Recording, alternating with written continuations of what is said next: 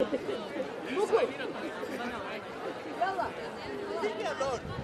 on. You want to go to the gym?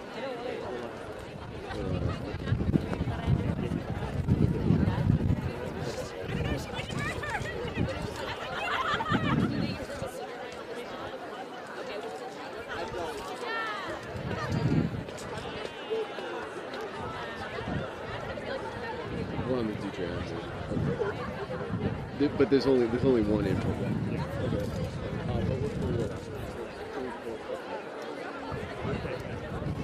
Um, okay. Um, so if you're tuning in right now, uh, we're at the we're at Columbia University at the second occupation uh, encampment. If you've been following this, you know that uh, this morning the NYPD entered the Columbia University campus and they arrested the Palestine Solidarity encampment here at Columbia. And that that encampment was uh, right over there on that lawn. And immediately at, when when the NYPD entered the school campus, uh, a bunch of people basically surrounded the encampment. Uh, students surrounded the encampment and were began chanting, uh, "Let them go!" and you know, uh, "Free, free Palestine!" And immediately after that, the students actually hop the fence here. hop this fence. I'm going to zoom in. They hop that fence, and now they are here, you think I should, and they formed a second encampment. Uh, and right now, there are police outside. Um, they haven't entered the campus yet. They haven't made an attempt to stop this encampment yet. There are also solidarity protests on the outside. Um, but we're going to be here. We're going to be live streaming, and uh, we're going to turn to some people who have been at the encampment now. Um, so stick with us. We're going to be here Uh, for Naib quite said some that he time. will give this back to Pratik. So can you please get this to Naib? Okay, thank you. When did you get here? One I got here maybe 20 minutes ago. Oh, अच्छा तुम तो okay. पहले से आई होगी What time हो गया? Yeah, I'm ready. मुझे जाना है. Okay, bye bye. Yeah, yeah. So, um, can you tell me why you're out here today? Yeah, I think the Columbia students are doing an amazing job. Um, I think students are a very longitudinal force of like organizing, and um, divestment needs to happen now. And I think college campuses are very important. Academia is very important to confront, especially around their silence. Yeah, and when were you out here earlier today? Were you part of the first encampment, and what brought you out, if not um, to this second encampment? Yeah, I was not part of the first encampment. I was trying to support from outside and help supplies get in, but then um, I also know that it's important to be here and support what's going on inside because of the mass surveillance and police presence that was threatening this, this, uh, this encampment. Yeah, so speaking of that, I mean, today we saw um, over 100 students get arrested and suspended as well. Um, I believe cops haven't been on campus since 1968, and within 24 hours, the president of the university um, called the cops in to have these students arrested. Um, can you tell me what your thoughts are about that?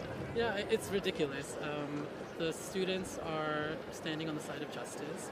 The other thing is that this feeds into repression that ha- is happening across the entire country in multiple spaces on Palestine activism, and that's unacceptable. Um, we have many historical lessons of why what's happening now in Palestine, the genocide, um, has happened in other places through the history of colonialism. Um, and so we're only walking in the footsteps of people who've done work similar before us. And so it's unfortunate that now people are still using the same tactics of repression, of police brutality, of arrests to silence what we should know by now is actually the right, the right thing to do. And speaking of that repression, you know, um, what will it take to, to make you leave here? Um, what would it take me to leave here? Until Columbia commits to a meaningful divestment. Until the demands of the main organizers are met. Thank you so Thank much. you so much. Yeah, thanks a lot. So, for those just tuning in right now, um, we are on campus at Columbia University, uh, the site of the historic encampment for Palestine. And the students here have been facing like a lot of repression for the last six months. Uh, you've been following what's been happening on the campus, the Columbia Students for Justice in Palestine and the Columbia Jewish Voice for Peace were both banned many months ago. Um, okay. We're, okay, we're hearing that the audio is too low. We're gonna uh, just try to troubleshoot that on yeah on the DJI. Just get really close and you'd be good. What's that? You can just get really close and keep narrating if you Yeah, want. okay. But uh, so there, yeah, so there's been a lot of repression. Um, Columbia banned SJP and JVP. Basically, what they said was that they held a demonstration without a permit. Um, but they also created this new rule where they have to uh, apply for a permit like six weeks in advance, basically banning protest. And then, you know, of course, no student group could really follow that, so they just went ahead with demonstration. They banned SJP and JVP. And after that, Columbia students formed their own, uh, they formed a new organization called Columbia, Uni- Columbia University Apartheid Rebels uh, Co-op and uh, they've continued their divestment fight. And this has all sort of culminated in this in this encampment, which you're seeing in front of us. Basically, the students felt, you know, there's not enough being done, and the university administration, uh, you know, isn't doing anything about it, so that they needed to take more drastic measures. Um, and uh, also, if you're wondering why we're stagnant, we're trying to get some audio issues fixed. I, I hear it's in uh, enough, but uh, stick with us because this is this is an incredibly historic battle, and I think there's uh, some video. I think Yale University is also following suit, and um, this might spread to many campuses. Tactic occupying might spread to many campuses around the country. So we're gonna be uh, we're gonna be going around tonight just talking to people. But uh, yeah, please please stick with us. Right now, there doesn't seem to be anything happening. Um, I have to switch. You need it. Just go ahead and take it. I have to switch. Okay, go ahead. Uh, so we're gonna switch audio.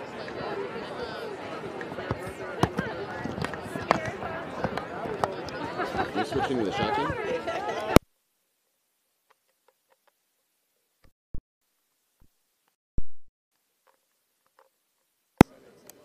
Wait, you're Now, put. the DJI wasn't. It wasn't on. It wasn't using the DJI. Oh, okay. So now we're on the Now on DJ. the DJ.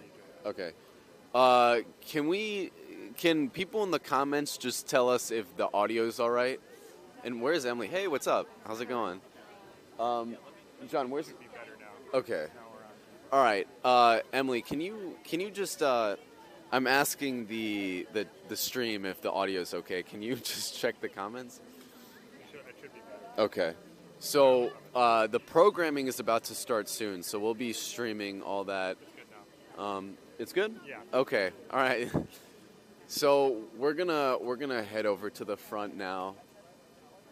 Um, now to my left, uh, there's a giant building here, but you can hear some. Uh, there's a protest happening on the outside. There have been people who have been showing up in solidarity with the encampment, um, coming from the outside. Oh, okay. And I think that yeah, I think the prayer is happening right now. Done.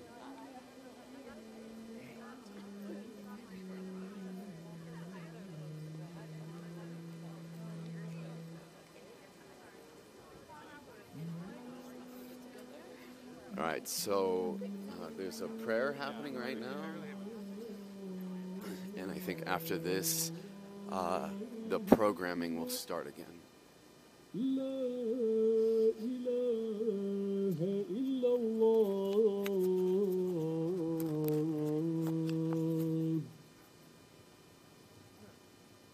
Brothers and sisters, inshallah, we'll start the Jama'ah in a few minutes. If we could please straighten the rows out before we do that.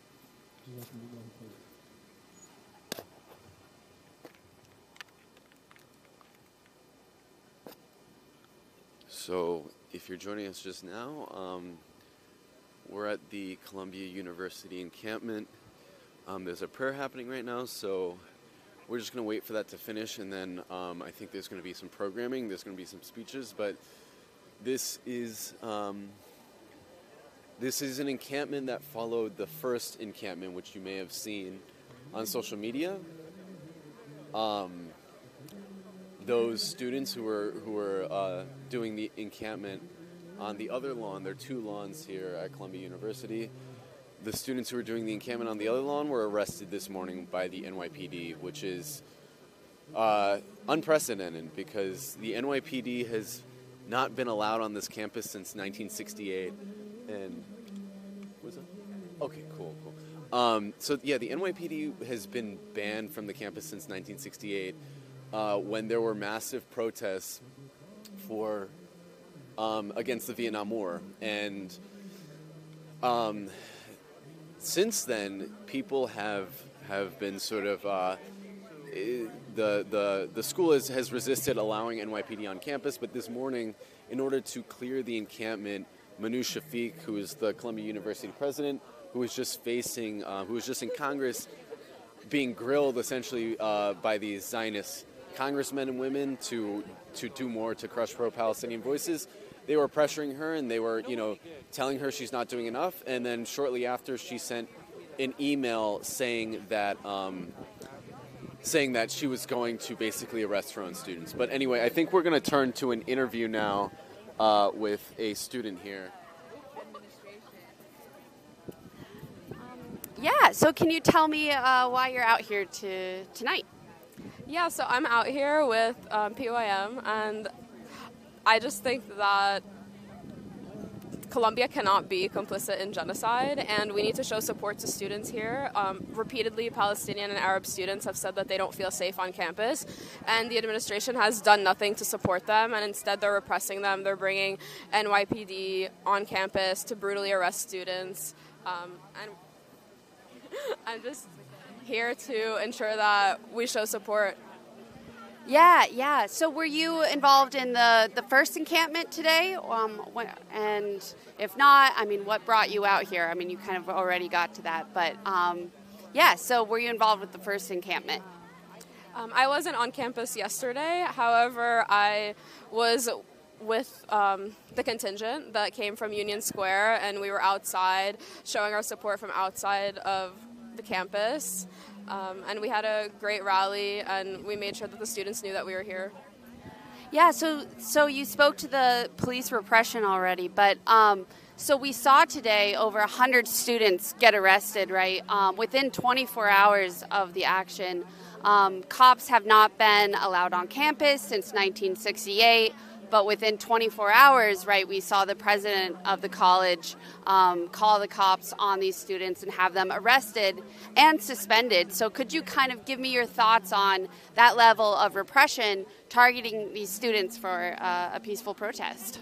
Yeah, definitely. I think it's very intentional. We've seen across the board in New York City how the National Guard is being deployed, police presence is heightened, and they're definitely trying to shut down the movement because they're afraid. They're seeing how the movement is growing, and they're afraid of change. And that's why we need to come together and just be stronger and just show them that we're not going anywhere until Columbia divests and until the United States as a whole is not complicit in genocide and is not backing this genocide that's been ongoing for over like six months now. Thank you so much.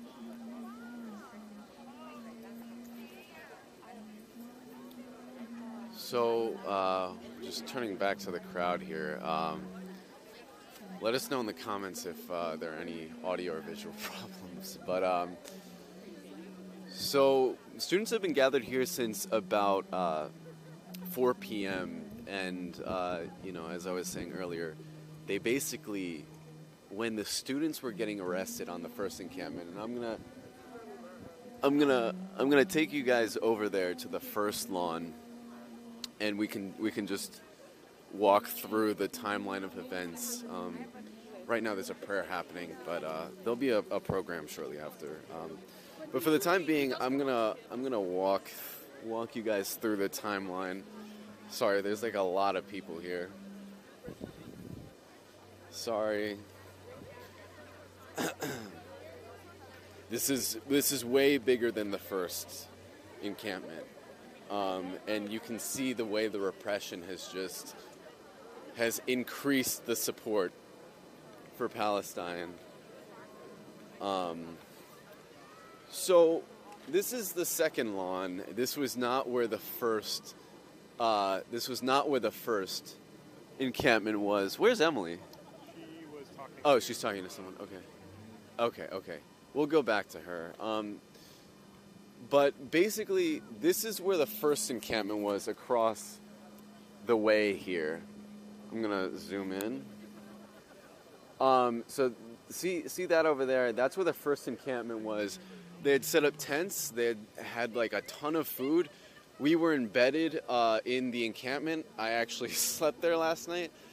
But uh, yeah, they, they were pledging to basically occupy it until the school either divested or until they were arrested. And uh, they were arrested today at around 3 p.m. I don't know what those white things are, but that's where the tents were. And when the NYPD entered campus, which they hadn't done since 1968, they came through that gate, arrested everyone, and this whole area was full of students. Um, I talked to one student, he was like, I had never seen anything like this before. I mean, this whole area was full. There were people hanging off those walls over there by the library, and they were chanting, Let them go, free Palestine. And uh, when they got arrested, people were so angry they actually hopped this fence here and they formed a second encampment, and that's what you're seeing right now. We don't really know how this is going to develop, but we're going to be following it. Um, right now, there are there were many many NYPD arrest vans outside, and several Palestinian groups are on campus right now demonstrating. Um, so I think let's go back. We'll we'll head back to to Emily right now, but um,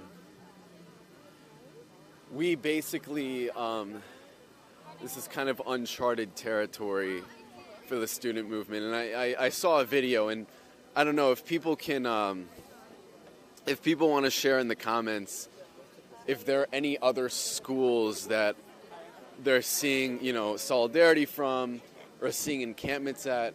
I saw Yale University, I think is is attempting something similar now, but.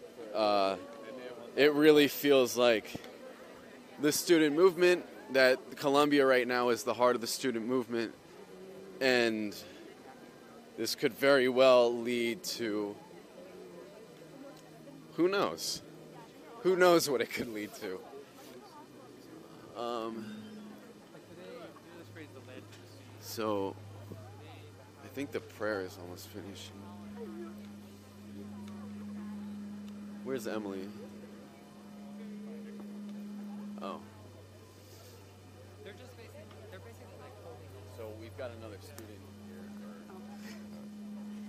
Hi, um, can you tell me why you're out here tonight? Yeah, I'm out here to support uh, the people of Gaza and Palestine in general and uh, to show solidarity with them and to speak out against Columbia's discrimination against uh, uh pro Palestinian supporters and Palestinian students and anti genocide students in general.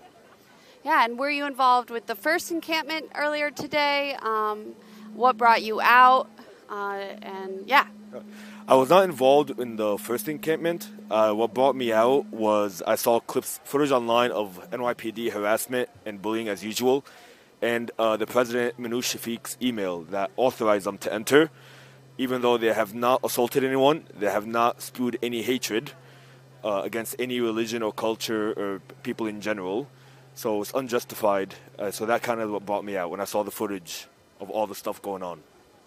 Yeah, and um, speaking of that, so we saw a lot of repression today on students. Students, over 100 students were arrested. Um, students were suspended for something that I believe would normally be for um, would be like a verbal uh, consequence. Instead, were arrested and cops were sent on campus. So, what is your what are your thoughts on that? So it, it speaks to Columbia's uh, since October 7th, Columbia's uh, history, or yeah, Columbia's history of punishing peaceful protesters, and it goes to show that even like when a couple weeks ago when they suspended five students, uh, middle of the night, uh, Columbia hired ex cops to try to break into the homes without a lawyer present to speak about their private text messages. Uh, it kind of like you know, it's just it shows uh, the President Shafik's complicity in uh, supporting the genocide, her and her administration, and Furthermore, Columbia's inaction against the students that the former IDF uh, students on campus a few months ago when they sp- when they sprayed uh, skunk gas, I believe, on uh, on uh, protesters. Yeah. yeah, and so despite this, can you kind of explain uh, the mood tonight and how people are feeling out here? So, I mean, people are, they're not tired, you know? I mean, people are obviously angry about what's going on. People are rightfully so. Uh, but and I know it's cold and people have you know their own responsibilities, but they're not tired at all. And it goes to show, like if you see the footage uh, of people around the camp around the campus, um, they'll keep this up. Uh, you know, we were not tired October 7, October 8, and we won't be tired for as long as it takes until to get a ceasefire and until Palestine is liberated. Thank you so much. No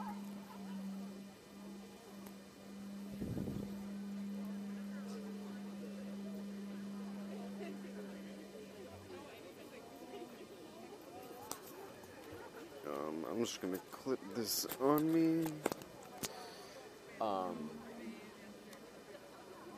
so we're here. We're here at Columbia University. This big building in the back is the library. Um, and every every building, every entrance right now is basically uh, blocked by security. Um, and there, it's it's it's like a it's a total it's a total lockdown on campus here. Um, one thing that we can show you is uh, one thing that we can show you is that graduation is coming up. And oh, I'm okay. I don't want to go over here. The prayer is happening. Um, there are flags taped to the ground here as well. Um, it's not a great view, but here, I'm going to zoom in right now. See this? See those bleachers back there? Let me change the focus. So, Columbia, Columbia's graduation, I, I can't really get, oh, mm, can't really get a good angle, but Columbia's graduation is happening next week, or two weeks from now. And they they said, you know, they used graduation basically as a pretext to clear out the first encampment. They said that um, they need to set up, they need to set up uh, for graduation. Now, the protesters that we talked to said they, they weren't doing this. this. They were saying this has actually been in planning for months. Um, they weren't doing it to disrupt graduation or anything like that, but um, they told us that as soon as the encampment started, they started bringing in trucks and setting up uh, their their uh, graduation stands, and um, they think the protesters that were arrested think that was being used as a pretext to. Um, yeah. Okay. Yeah. Go ahead. Whenever. Oh. I think we have another interview.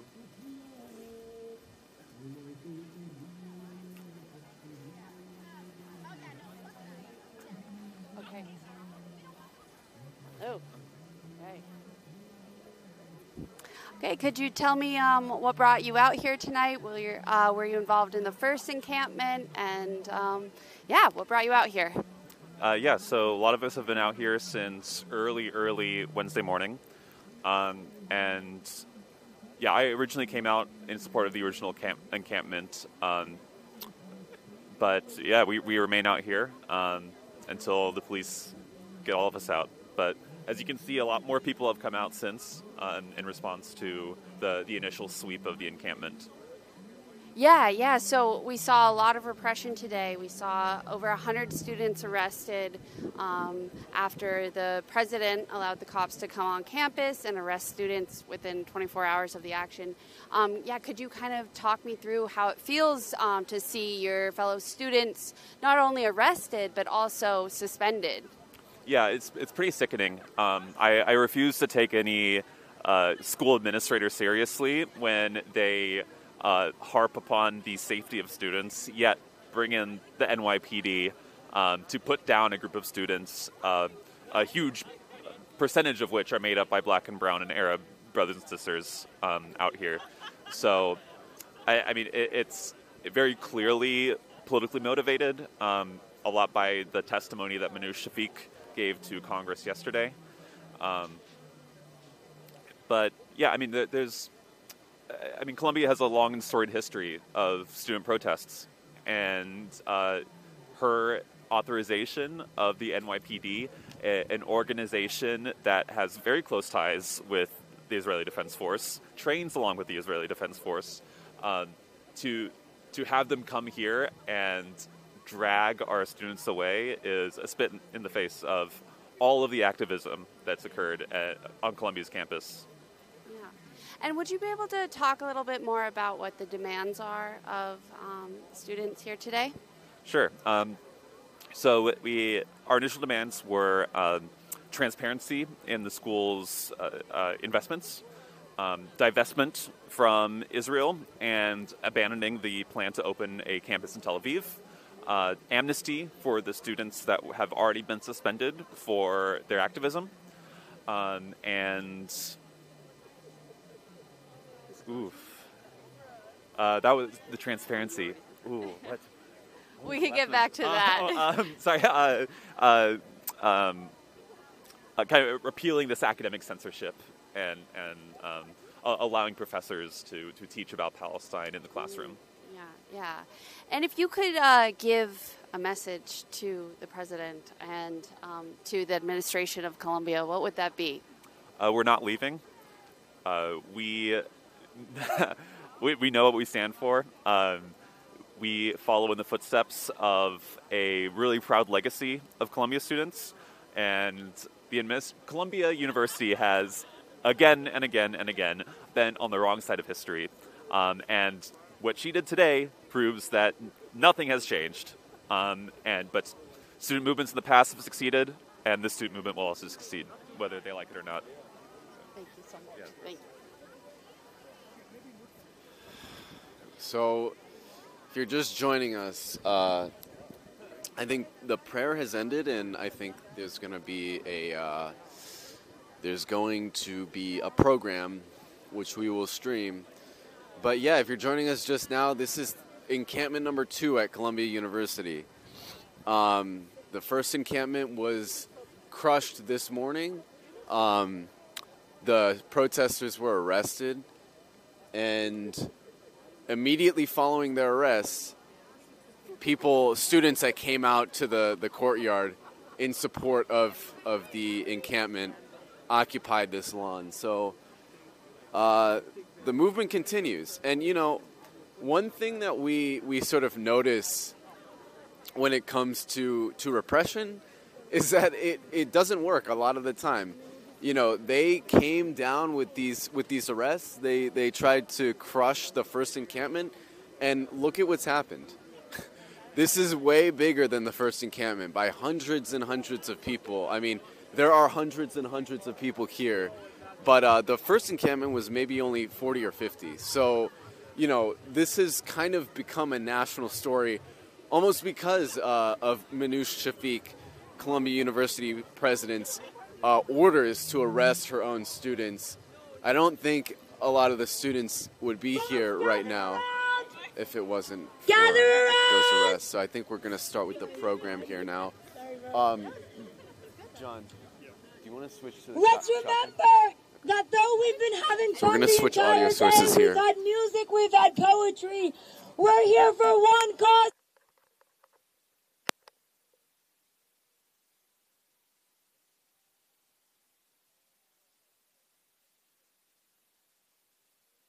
After me! Repeat after me! Gather around the mic! Gather around the mic! Gather around the mic! Gather around the mic! Gather around the mic! We have programming for the rest of the evening. For the rest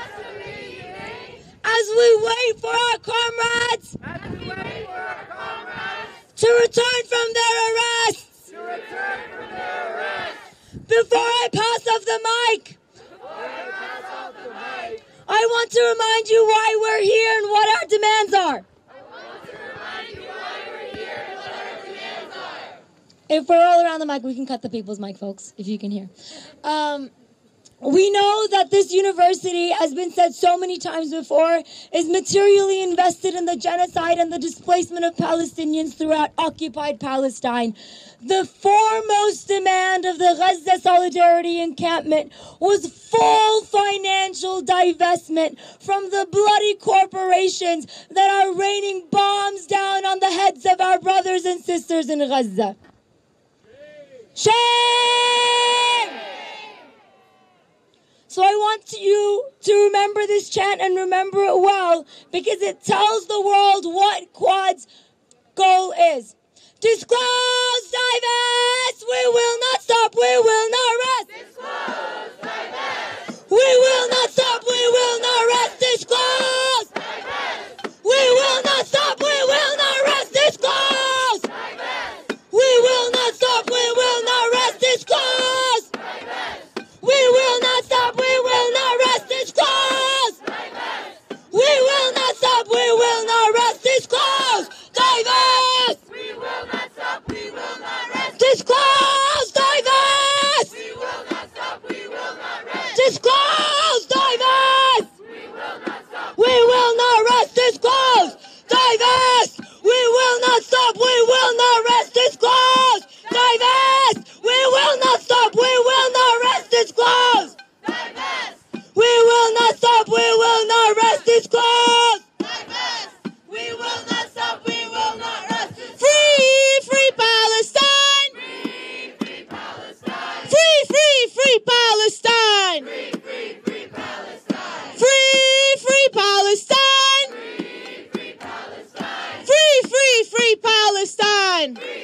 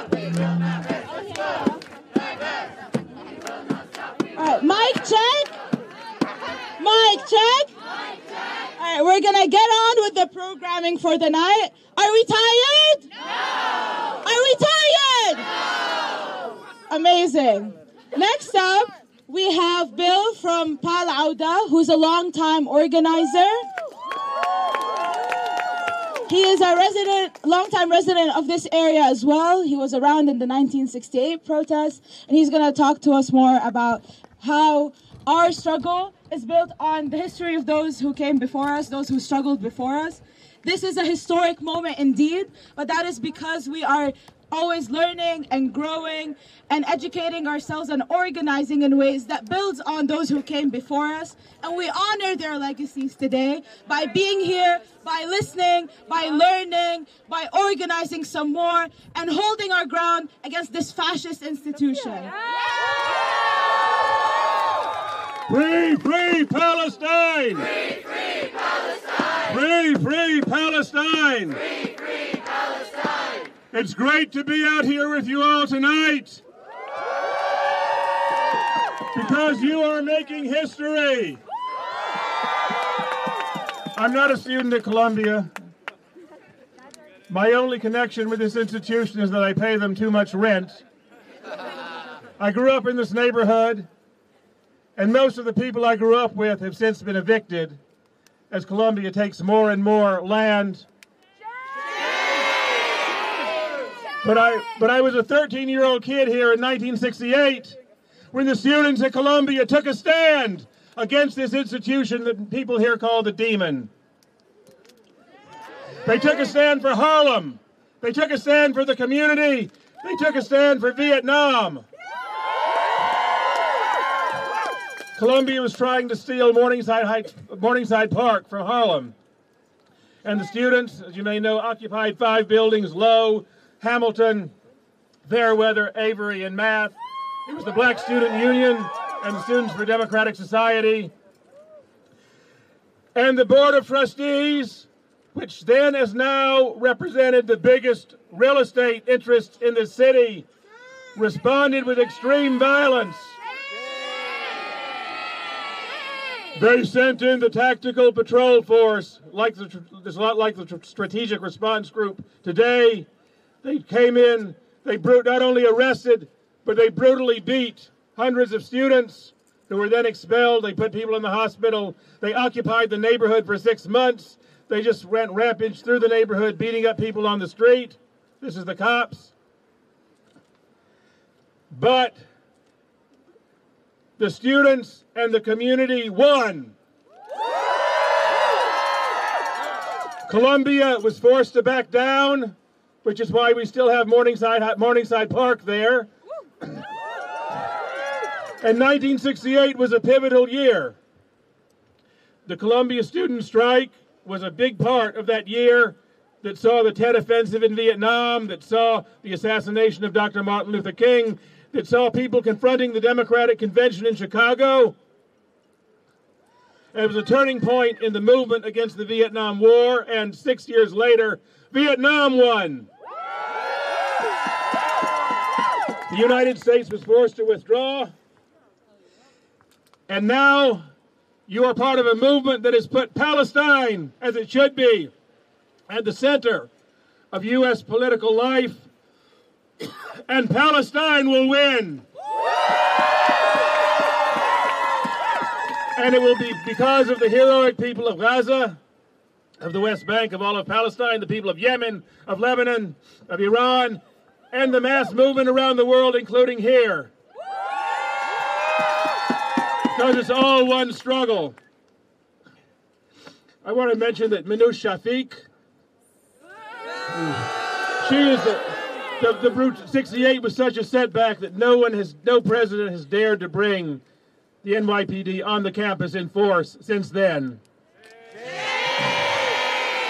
And this, this person, this Baroness, Dame Commander of, Order, of the Order of the British Empire, former Vice President of the International Monetary Fund and the World Bank, is doing a job for her, for her bosses on Wall Street and for the big real estate interests here who run the Columbia Board of Trustees and are very connected with the land theft in Palestine. So it's great to see you here. Stay strong. There's only one way, and that's forward.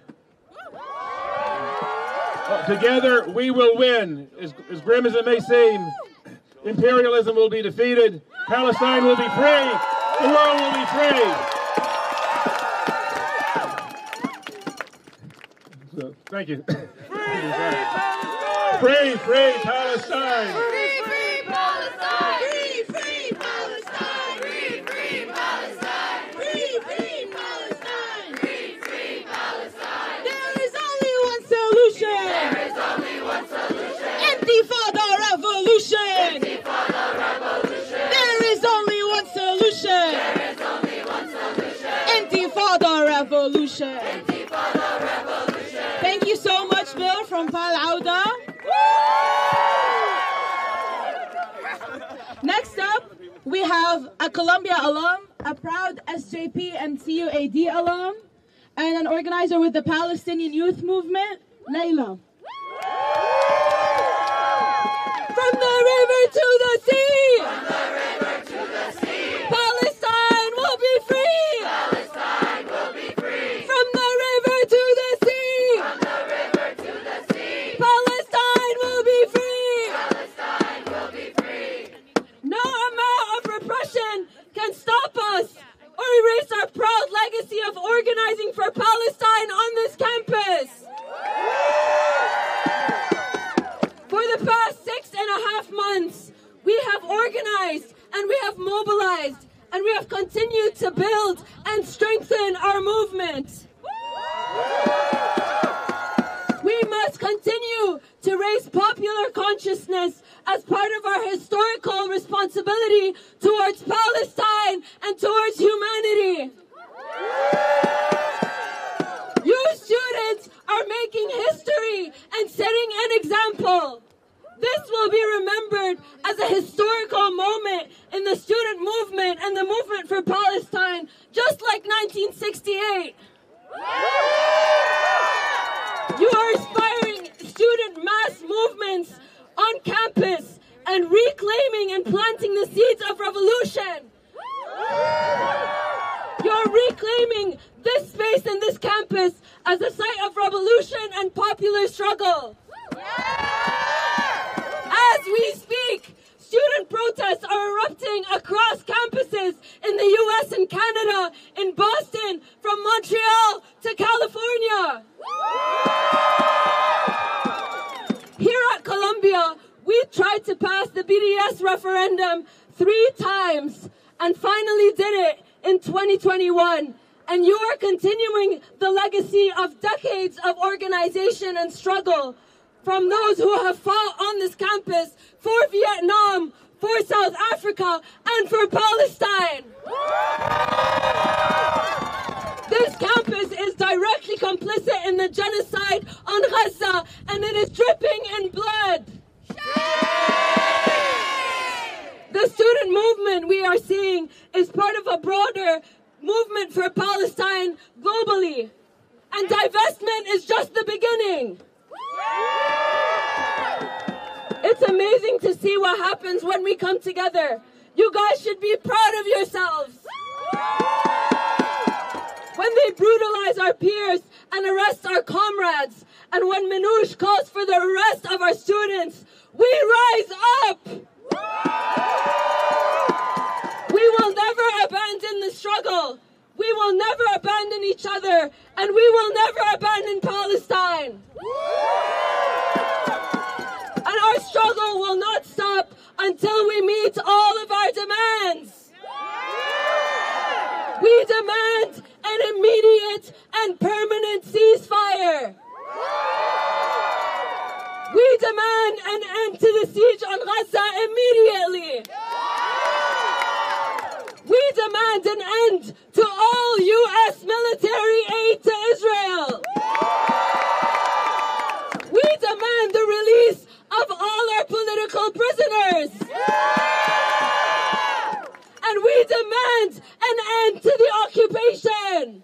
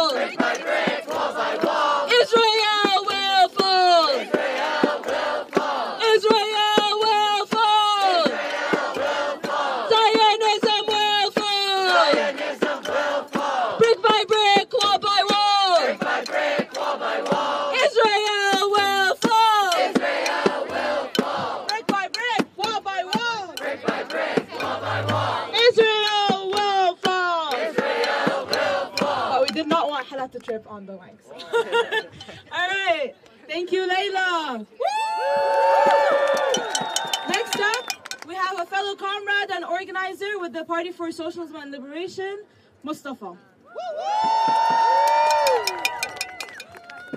Free, free Palestine! Free, free Palestine! Free, free, free Palestine! Free, free, free Palestine! And we will free Palestine! We will free Palestine! Within our lifetime! Within our lifetime!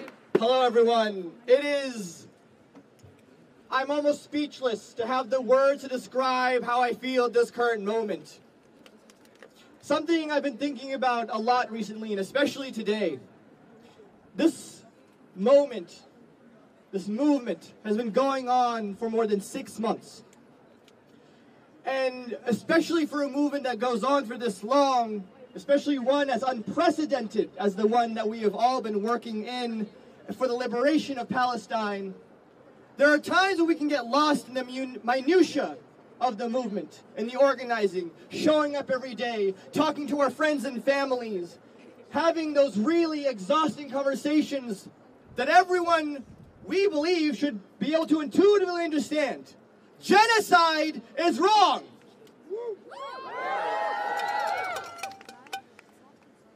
Comrades and friends, we continue to live in this unprecedented moment. There are reports that our Israel has retaliated against Iran. Shame.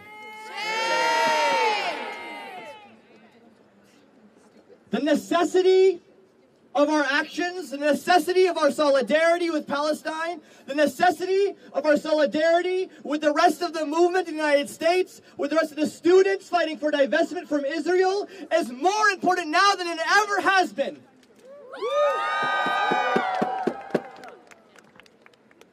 Because we will not stop and we will not rest until every single university, every single institution has divested from the genocidal nuclear state that is Israel.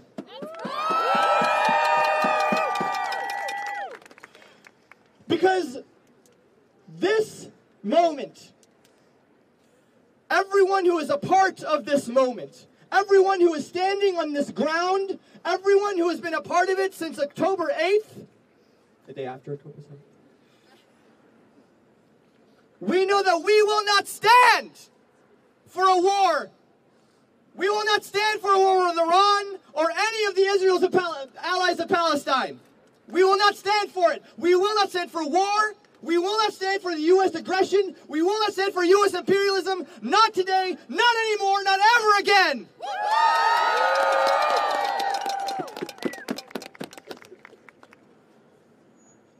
You have to think about I think a lot about the fact I was having a conversation earlier with a friend. At times we feel like we are the objects of history. Sometimes things feel like they're happening to us. That we're just somewhat moving through the motions of the currents of history. Our goal and our objective must be to become the subjects of history. The ones who write history, not the ones who are subjected to history. We are doing that right now.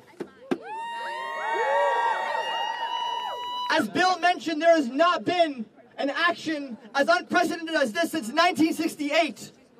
We are making history that has never been made before for almost a century.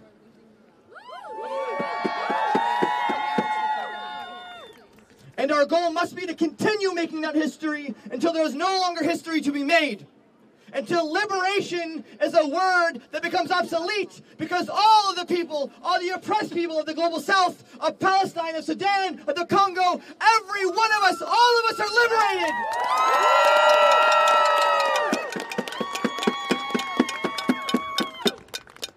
And one day that term will become obsolete because of the people who are standing here, because of the people who are dedicating their lives and that is what makes us, makes you a comrade.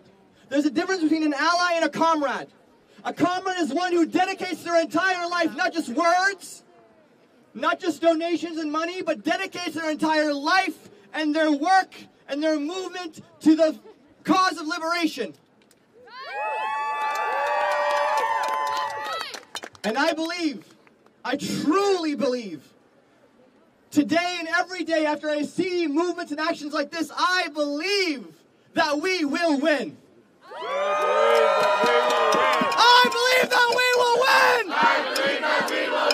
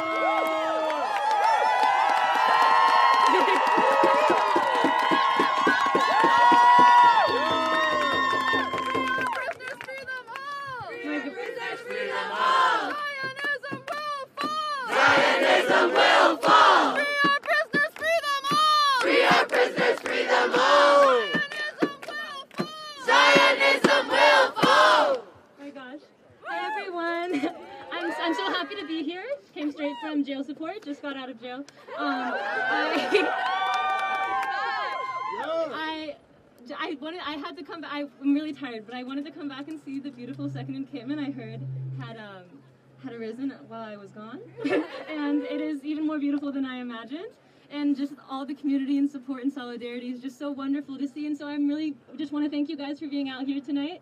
Um, I, I'm, I'm just so happy.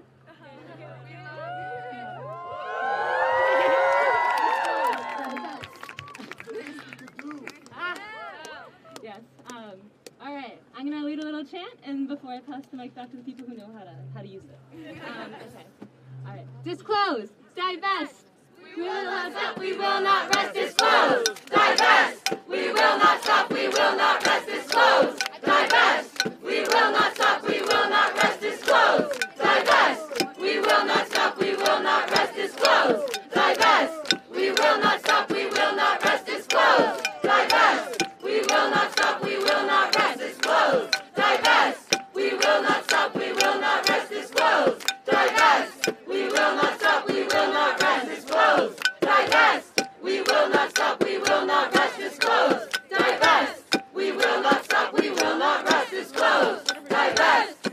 will not stop, we will not rest. This close, Divest. We will not stop, we will not rest. This closed. Divest. We will not stop, we will not rest. Divest. We will not stop, we will not rest.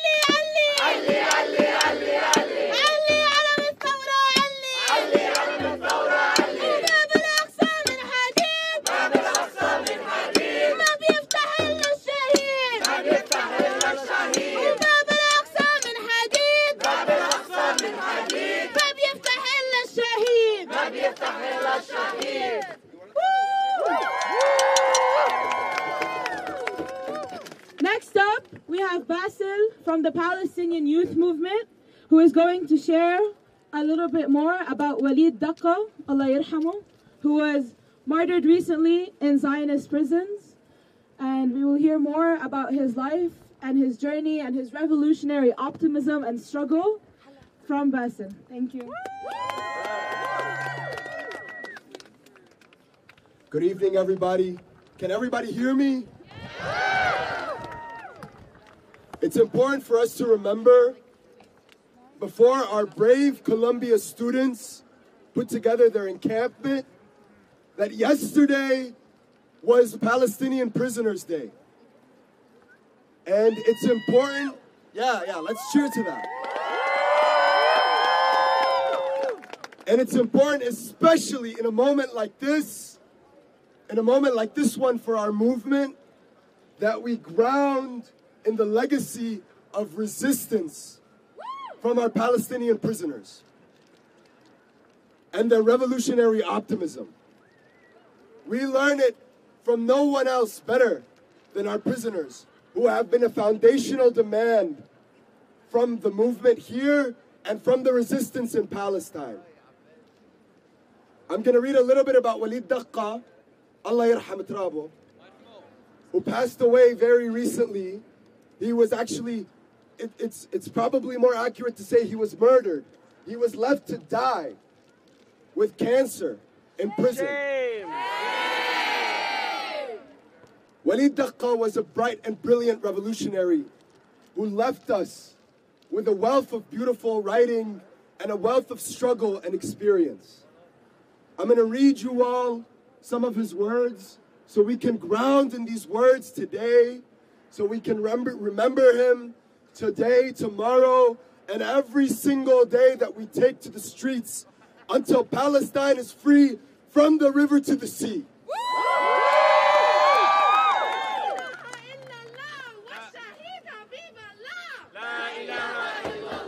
والشاهد حبيب الله Okay, this is Walid Daqqa. I write to a child who has not yet been born. I write to an idea or a dream that unwittingly terrifies the jailer before it even comes to fruition. I write to any child. I write to my son who has not yet come into life. I write to the, to the birth of the future. That's how I want to name him or her. And that's how I want the future to know us. Dear Milad, which is the Arabic term for birth. Today marks the end of my 25th year in prison. 9,131 days and a quarter. It is a number that does not end at a certain point. It is my age of incarceration that has not yet ended. And here I am reaching 50, with half of my life spent in prison and the other half in life. The days have engulfed each other. With each day I spent in prison, flipping through the pages of my life like a bag trying to empty what remains of my memory. The prison, like fire, feeds on the wreckage of memory. And my memory, you are my message to the future. After prison months sucked the nectar of the life months, and the prison years equated with the life years. Do you think, my dear, that I have gone mad? Writing a letter to a creature who has not yet been born? Which one of us is mad? A nuclear state that fights a yet to be born child, deeming them a security threat, making him present in its intelligence reports and court pleadings? Or is it mad to dream of a child? Which one is madness? To write a letter to a dream or to have the dream become a file in the hands of Israeli intelligence? You, my dear, now have a security file in the Israeli Shin Bet's archive. What do you think? Should I stop dreaming? I will continue to dream despite the bitterness of reality. And I will search for meaning in life despite what I have lost of it.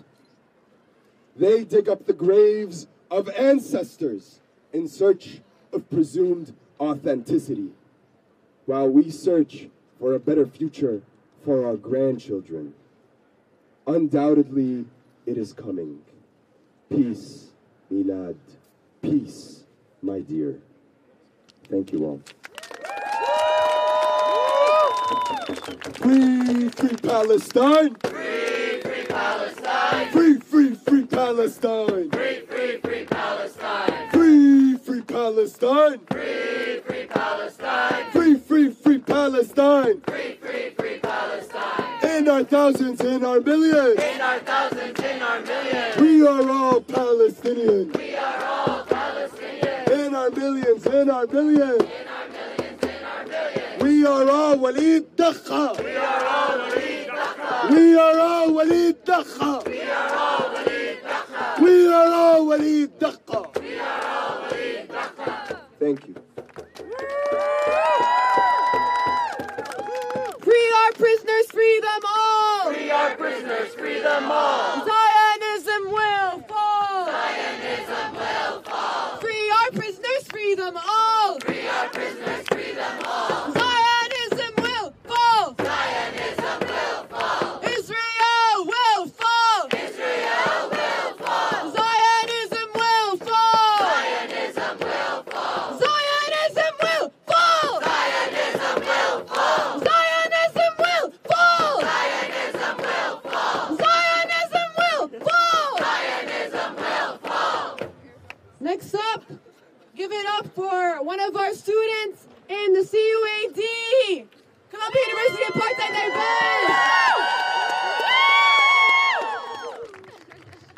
Free, free Palestine. Free, free Palestine. Free, free, free Palestine. Free, free, free Palestine. Hi, everyone. Please take second to text uh, your group chat or post on your Insta story and tell people to come to the lawn and join us. We have plenty of snacks, plenty of food, and. Okay, um, so tell all your friends to come, please. Okay? Um, I'm going to share a speech that I wrote for the February 2nd, 2024 rally that was in response to the skunk attack, the chemical weapon that was used on our students here at Columbia. I, I never got to read this speech out loud because on that day of that protest, Columbia University called the NYPD outside the gates and hunted us down. We were running from place to place. We weren't allowed to use a mic, and they silenced our voices that day. But today, everyone here is proof that they will never be able to silence us for more than, I don't know, like an hour or something. So, so, yeah. Okay, so I'm gonna read my speech. Columbia University is complicit in the genocide of the Palestinian people. Columbia University invests in iShares ETFs, which hold assets in companies like Boeing, General Dynamics, Lockheed Martin, and Raytheon. All of these companies develop and manufacture weapons for the Israeli military. Columbia University not only is an active participant in the genocide of the Palestinian people, but Columbia simultaneously refuses to consider its Palestinian students worthy of any humility or acknowledgement.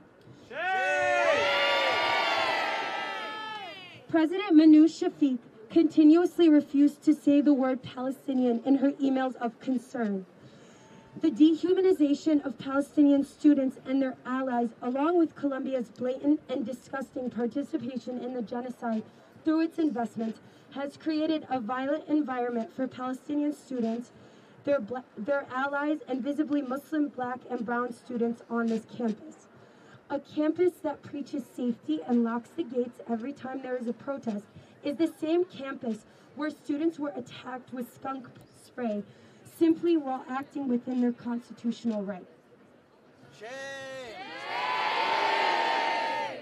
Being Palestinian on Columbia's campus means walking around with a target on your back, having to decide whether or not you want to deal with the consequences of wearing your kufiyah to school or a sweatshirt that supports that shows support for Palestine. Being Palestinian on Columbia's campus means that you do not get do not get to speak your truth without risking disciplinary action or doxing. All of this while simultaneously grieving family in Gaza, watching Palestinian bodies be mutilated on camera, and hearing the horrifying statistics grow in number every single day. What we have been through at Columbia is not one fraction of what our families go through back home. Gaza keeps us alive, and Gaza is alive. The resistance, the people, the culture. In the words of Rafeef Ziadah, we teach life. Gaza continues to teach us what it means to resist, resist despite all odds, what it means to have faith, what it means to fully live every single moment that you have on this earth.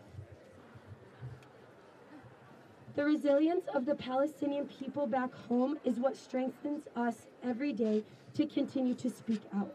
It is our duty as we are all complicit. Palestine is our roots and Palestine is our land, and it is the water that makes us grow. We will continue to fight until the day Palestine is free, until we can go back to our rightful lands, and until we return. Glory to our martyrs and glory to Palestine. Thank you.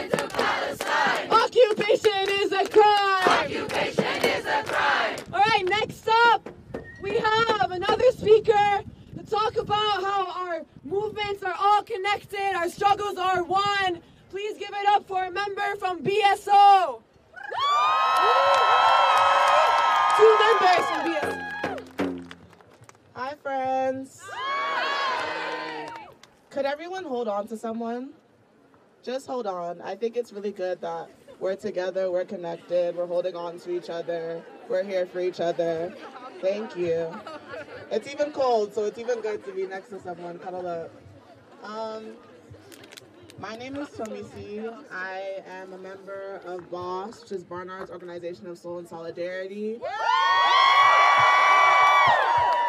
We are Barnard's only black organization. We stand on the backs of our founders from the 1968.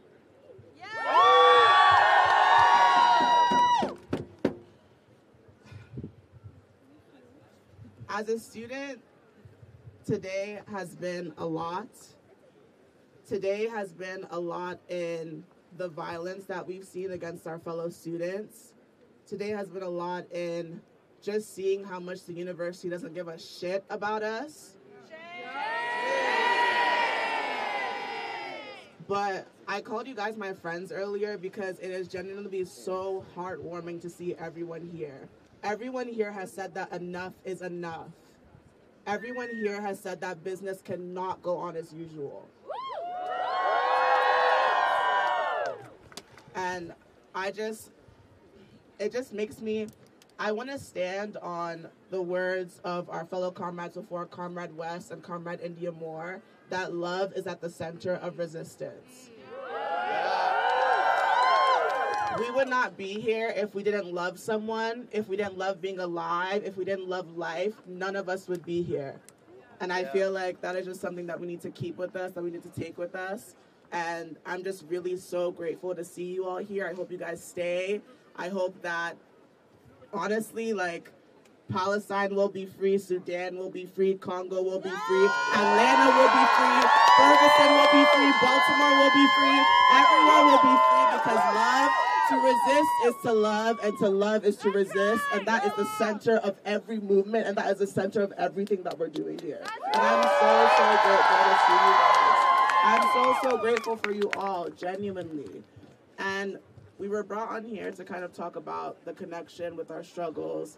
I mean, we don't have to tell you guys that the NYPD are being trained with the same tactics that the IOF are being trained for. We don't have to tell you that Cop City is just like Israel, is just like what they're doing in Palestine. We, we know that. And we're here because of that. And we're going to stay here because of that. And we're not going to leave here because of that. So I'm gonna give it to Kepra, but I, I just literally like I feel like especially these past few months, it's been crazy to me that things have just been going on so normal when nothing has felt normal. We've still had classes, we've still had assignments. Professors have just been never talking about this in class, acting like this doesn't exist. And it's genuinely felt so insane. But I'm so glad that everything is literally stopping right now and we're all looking at each other in the face and seeing that there's an issue here that needs to be remedied. So thank you all so much. Hello, everyone. Um, hey. Um, I just want to echo what people have been saying. We're here because we're standing on the shoulders of people who have come before us, comrades who have come before us, everybody who has fought the 1968 sit-in and stand-in in Hamilton Hall. Like, we're we're on the shoulders of giants as we do this, and it's something to feel empowered by. Um, so I'm just gonna read a little bit of history about some um, some sit-ins that have been that have been organized by Black students on campus. Um, yeah, just a little a teaching moment. Yeah. Um, okay, so in 1982, students organized the Columbia chapter of a coalition for a free South Africa. Columbia students of the org were specifically demanding for the university to divest from pro-apartheid corporations. Um, money is the only language that Columbia knows how to speak, so CFSA members appealed to the Student Senate, the largest governing body on campus at the time, to support their movement on Columbia's divestment. After the university's inaction, seven leaders of the coalition started a hunger strike. Their largest resistance was a march paired with a blockade that disrupted entry into Hamilton Hall. The blockade began on April 4th, 1985, and up to 1,000 students occupied the Hamilton steps daily in its peak. On the first day of the blockade, the coalition invited Jesse Jackson and Desmond Tutu to speak with about 5,000 people in attendance. The blockade continued until the CFSA were invited to a panel to discuss Columbia's divestiture on April 25th.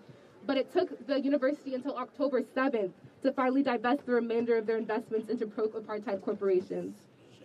Shame.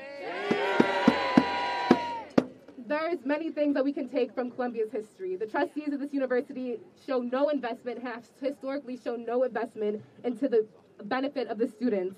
Um, direct action wasn't made months later until October. Um, yeah, Columbia has a history of intimidating, ignoring, and divesting student group organizations for change on its campuses. But we have the power to stop it. Um, and March 22nd, 1987, Mike Jones, who is a black student who has been ar- harassed by his white football teammates, he made an effort to confront his teammates, and it, the conversation escalated um, and carried on to Broadway. He was hospitalized in the confrontation, um, and the concerned black students of Columbia formed in lieu of this violence. Um, the events were primarily focused on his injuries, but it evolved into a larger, larger list of demands. Um, they organized various rallies with crowds of over 600 protesters and commemorated moments in black history like the assassination, assassination of Dr. Martin Luther King. And on April 21st, they organized a sit in in Hamilton Hall, chaining the doors closed for 12 hours before being broken up by NYPD. Some students were identified and received disciplinary action, which was common for black students at the time. Um, a March 24th article um, in, in the Spectre titled Rationalism, Not Radicalism, is the way out of racism, told the events in a way that villainized black students. Yay! I think it's so important that we put our stories out there, especially given the hearing yesterday, the lies that were being told by by Minouche Shafik, lying on our students, not in a, such a perverse way that twists it, actually the opposite of what's going on, comparing us to white supremacists, is really insane. So we really need to put our stories out there. What is like the daily life of being a pro-Palestinian and black student on campus? It's it's hard, it's rough, and they're twisting it around. So telling the stories are so so important, and knowing our history is so so important. So, one thing I feel like I want everyone to really take from this is that mutual aid will save us all. Like today, everything you've eaten, all the blankets you have, all the emergency, all the hand warmers came from the community. The community will always have you, and the community will always support you. So before me and Kemp go, we want to sing a little song.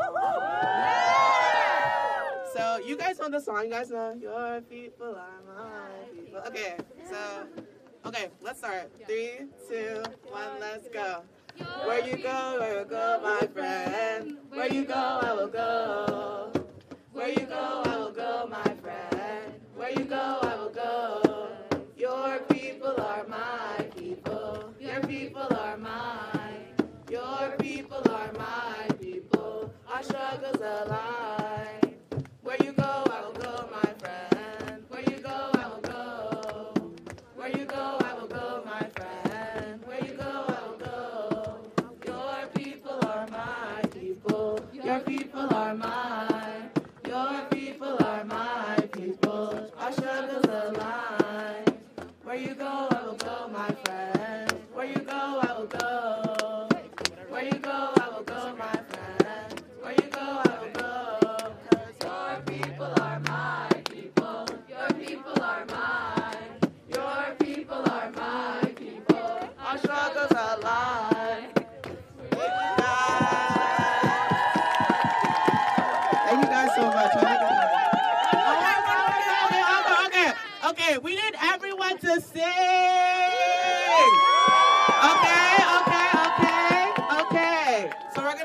The beginning. Three, two, one, let's go. Your people are my people.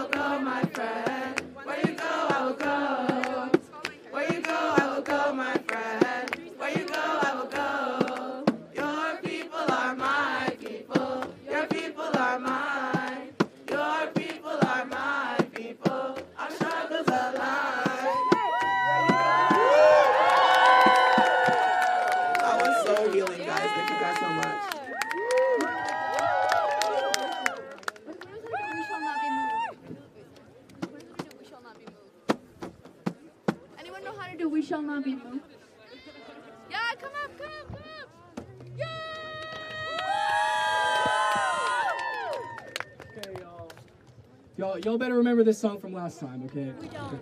Oh, okay, okay. That's okay, that's okay. I'll do it again. So, let me think. Um, so, let's start. Yeah, yeah. Um, so it goes like this. We shall not, we shall not be moved. Okay, repeat. We shall not, we shall not be moved. We shall not, we shall not be moved. Just like a tree that's standing by the water, we shall not be moved. We shall not, we shall not be moved. We shall not, we shall not be moved just like a tree that's standing by the water.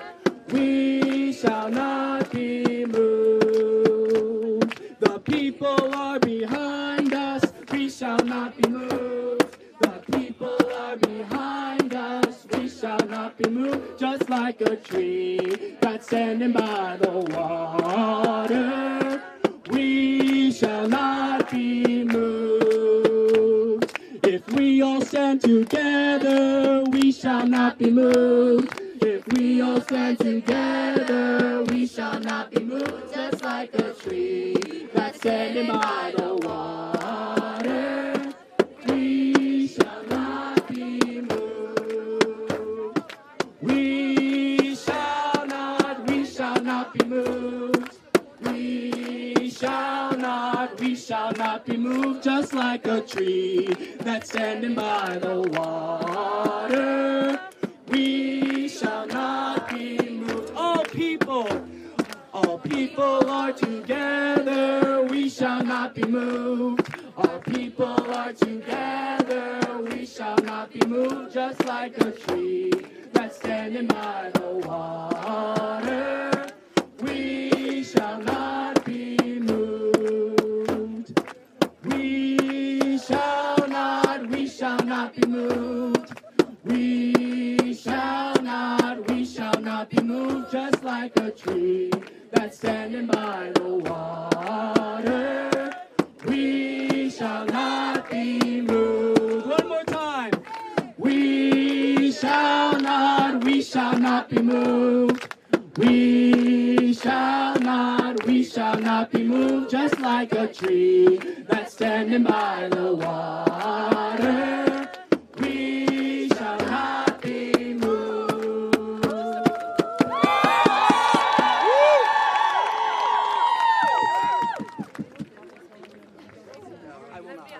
Thank you so much for sharing these beautiful stories, our important history.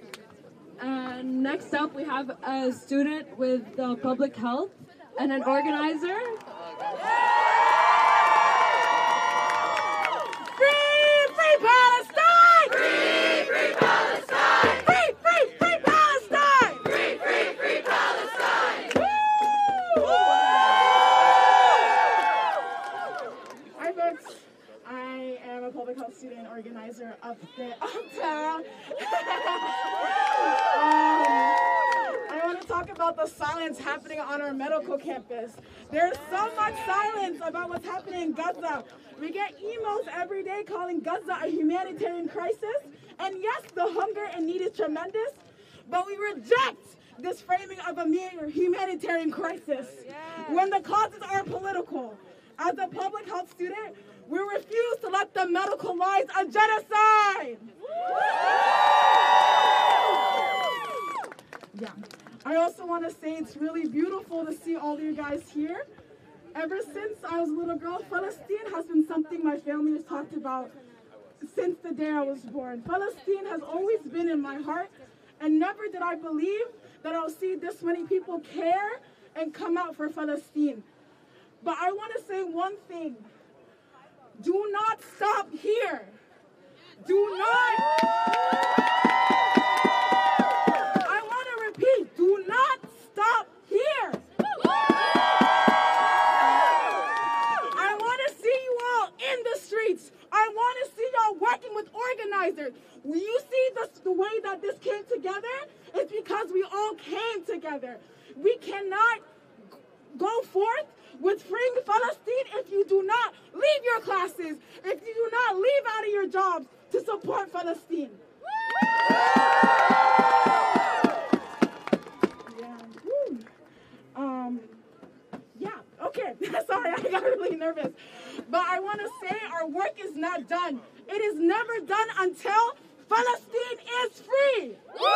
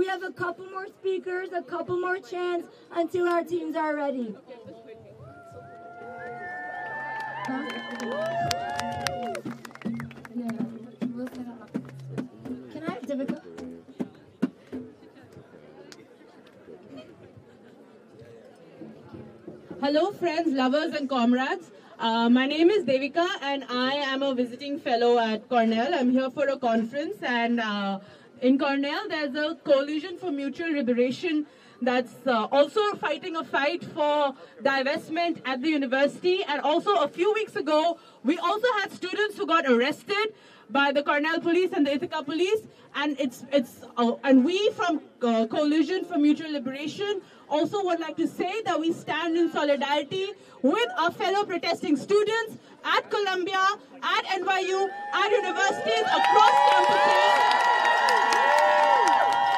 at universities across campuses, across countries, across regions. And we we come here in, so, in solidarity with all of you. And I would also just like to say I'm not from the US, I'm from India.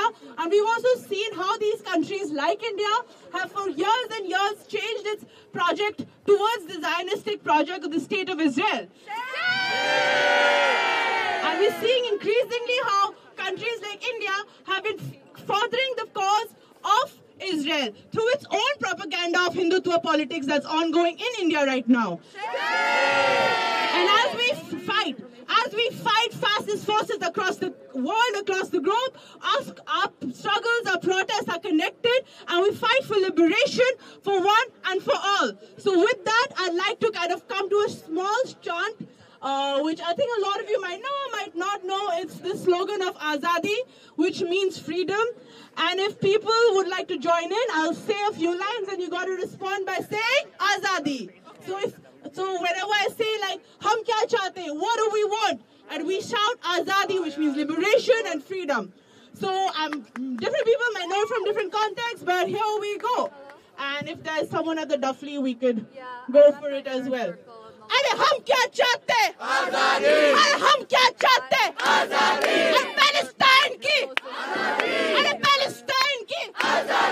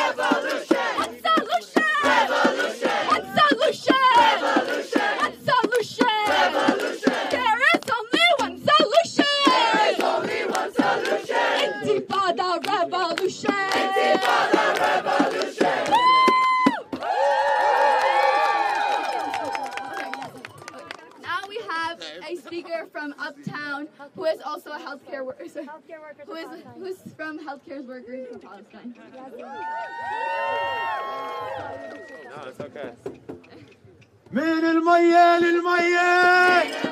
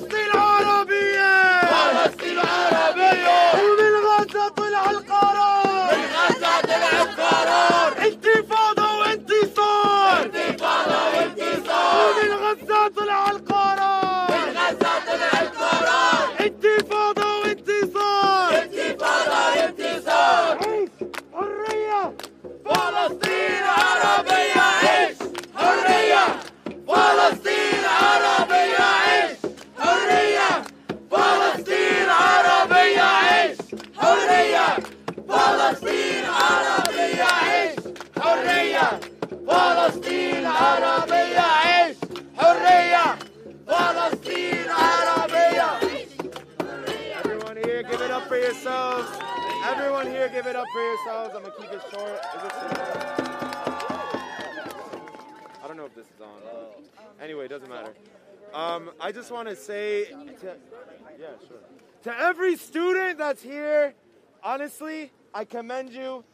The fear that they have stricken within their hearts is honestly, it's honestly awe-inspiring because they called FBI, they called PIs, they called the NYPD.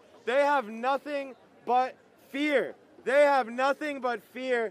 And quite honestly, where we were at in 2012 till 2016 when I was at Columbia and where we're at now, what the students here are facing is immeasurable, quite honestly.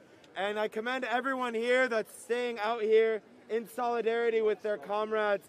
This show of support, this show of solidarity is key in any struggle for liberation. So please, everyone, give it up to all the Columbia students and all the Barnard students. Back in 20, back in 2016, there was a the the you know the campaign for oh cool. Uh, back in 2016, the campaign for divestment, the apartheid divestment campaign, was uh, concurrent with the prison divest campaign. If you're not familiar, back in 2016, a group of student organizers that you know some of them are actually here today. We got together. All these divestment campaigns stood together in solidarity, worked with one another, and the divestment campaign from private prisons and the prison industrial complex was successful at Columbia in 2016. And guess what? This divestment campaign will be successful. This divestment campaign will be successful. Disclose, divest. We will not stop, we will not rest. Divest. We will not stop, we will not rest. Disclose, divest. We will not stop, we will not rest. Disclose, divest. We will not stop, we will not rest. Disclose, divest. We will not stop,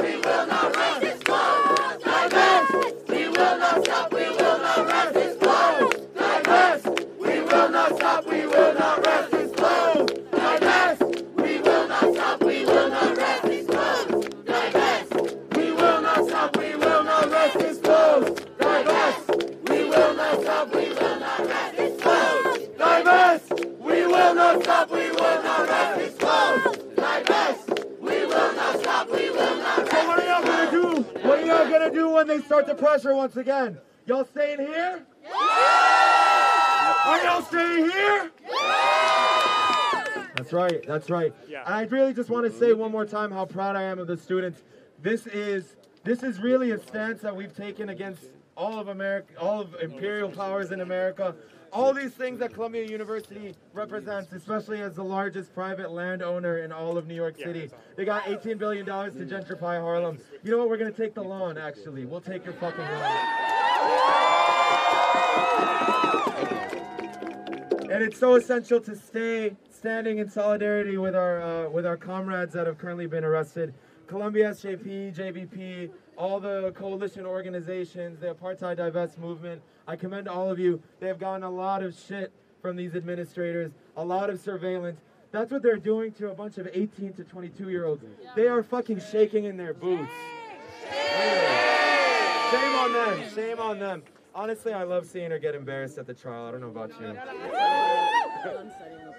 And um, all I want to say is I'm really just happy to be in community with each and every one of you. Thank you for being here. Thank you for standing for Palestine. Thank you for standing with our people. God bless all of you. All right. Y'all trying to chant? Yeah! Say it loud and say it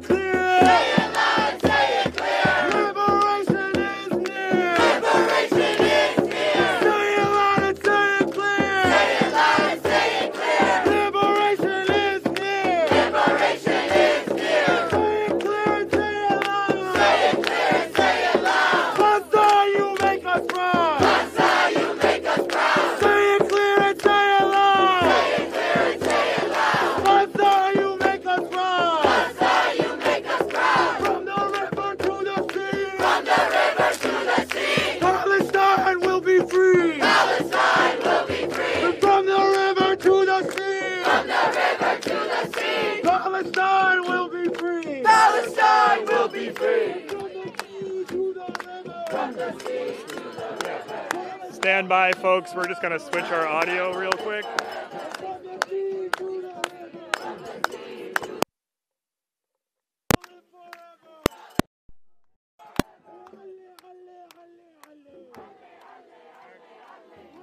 Uh, testing, testing. All right, we're good. Um, okay, so we're back uh, out in the crowd of uh, five minutes. Oh, five five minutes. Yep.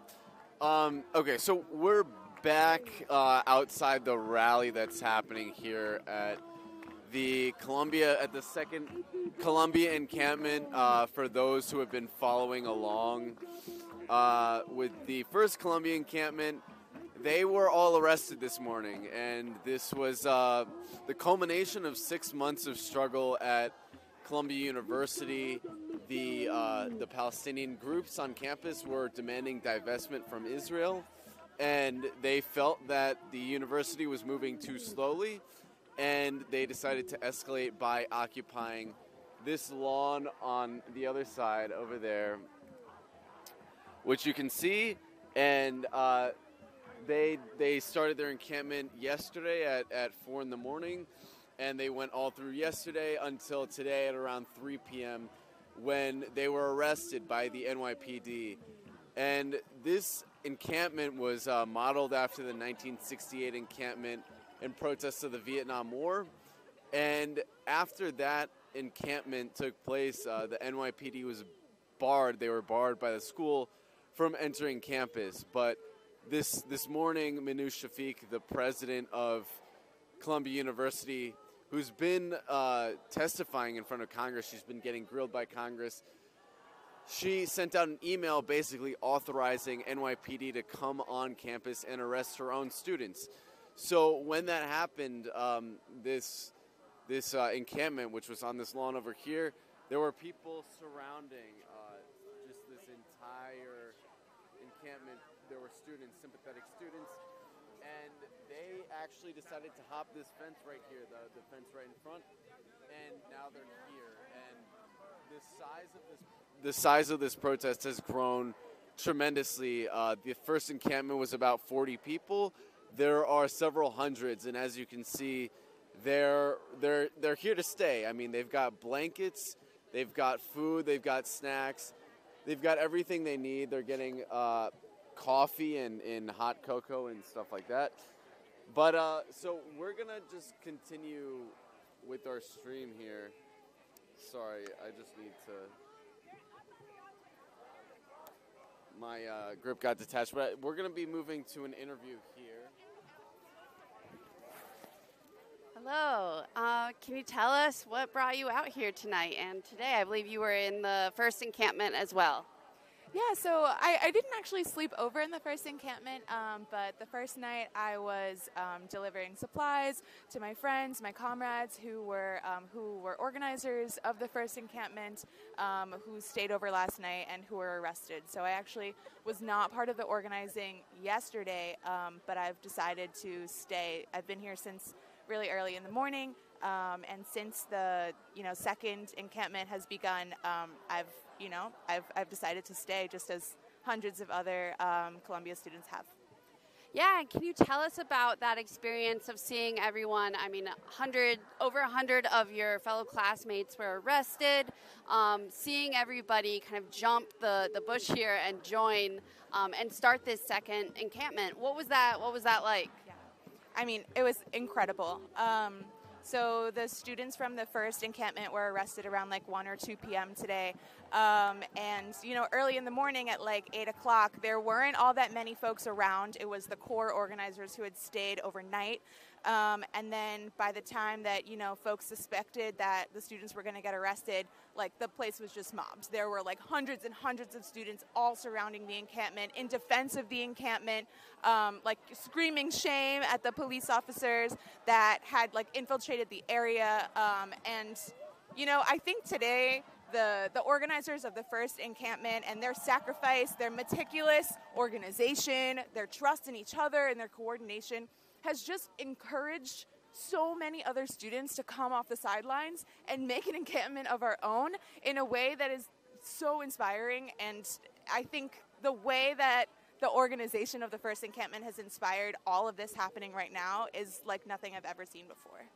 Yeah, yeah. And I mean, what it, in the moment now here, we have the program, there's going to be dancers soon. Energy is very high. Can you speak to what it means to have everybody still out here tonight, despite that repression, and um, keeping it going? Oh, yeah, it's so inspiring, especially seeing the progression of the character and the intensity of the organizing at Columbia since the beginning of the school year, um, since after October 7th. It's there's really been a couple of fundamental shifts. I mean, in the beginning of the year, um, protests were planned, you know, essentially in coordination with the university administration. They were, I, I would characterize them as like polite, you know. Um, and they, you know, we wanted to make a, some sort of stand for Palestine, but it was, um, it, it, it played by the university's rules. Um, and when we were playing by the university's rules, um, their restrictions on us became more and more stringent. Um, and since then, I think there's been, uh, and as the repression of the university got more intense on the students that were organizing, um, the organized rebellion against that repression got more and more intense to the point where we're right here today. Um, and so I think it's so incredible to see not only that gradual shift to a more intense and more militant organizing on campus, but to see the fundamental shift um, in you know the regular everyday students' belief in the power of organization. Um, I think has really come to a head today with the development of the second encampment. And what has it been like as a student? You got an email from your president. Was that today? Yeah. Um, and we've we've seen this response from the administration, um, also using graduation as a pretext for graduation, which I believe is in two weeks. In a couple weeks, um, yeah. So, as a student, and you're seeing your administration respond to um, the protest this way, what does that feel like? Yeah. I mean, it's incredibly frustrating, right? We got an email today, five minutes into when the NYPD began making arrests on the students. Um, from Minouche Shafik, the president of Columbia, um, stating that she just had no other choice. She had to arrest the students. She had to let the NYPD in to arrest the students for the safety of like a proper learning environment for everybody, um, which is absolutely insane, right? Because what about the the safety of Palestinian and Muslim and Arab students? Um, and so to see to see that response as we're watching our bravest students get arrested, um, the contradictions could not be more on full display.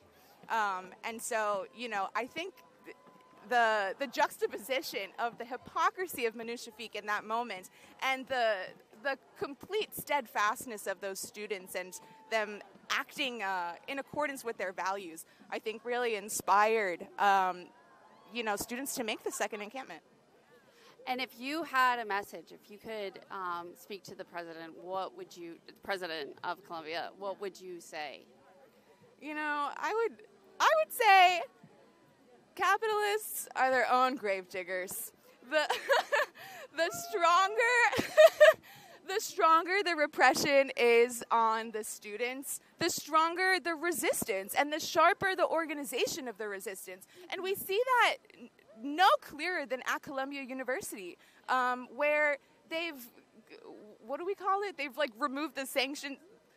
What do you call it? They they cut off JVP and SJP. Um, you know, in the first semester of organizing for Palestine. Um, and to see that this is the epicenter of the student movement right now, um, we, we can see so clearly that when the, the rulers try to repress people that are trying to take a stand, we just get sharper and we just get stronger. Yeah, and are you are you a student here as well? Yes. Yeah, yeah. Hi. Yeah, can you tell me how long have you been out here? So I've been out here since about um, 7 p.m. But before that, I was outside with. Um, I think it's within our lifetime. They were marching outside as well, so kind of just around the block, um, or again and again and again. For a few hours, I was doing that because it was so inspiring and amazing to see. I mean, obviously the crowd here is huge. I don't know if you guys have been outside, but the crowd is, if not bigger, it's insane. Um, we were taking the streets, and that was really inspiring because that outside was the picture of solidarity. So no matter what happens here, people outside are standing as well. It doesn't matter if there's a gate or a fence, if they can't get in, there's hundreds of feet in between. They're still standing just as strong with us. So it was really beautiful to see. But yeah, I've been here for a while today, yeah. Yeah, and what has that experience been like to, to were you here for the arrest as well? I mean, to see that repression happen, to see people jump in and fill in um, after their fellow classmates had been arrested. What has that been like? Yeah, so I actually wasn't here for the arrest. I was at work and I was literally under, under the table on my phone, itching to come here. And then I got out early and I just came right here. My friends and I were on the same consensus. We're like, yeah, we need to get to Columbia right now. People I know who don't even go to Columbia, um, honestly, a lot of people who are here aren't students. They've stuck in, which I think is completely fine and we accept. I know people who are helping people sneak. I don't know if I should be saying that. Uh, but yeah.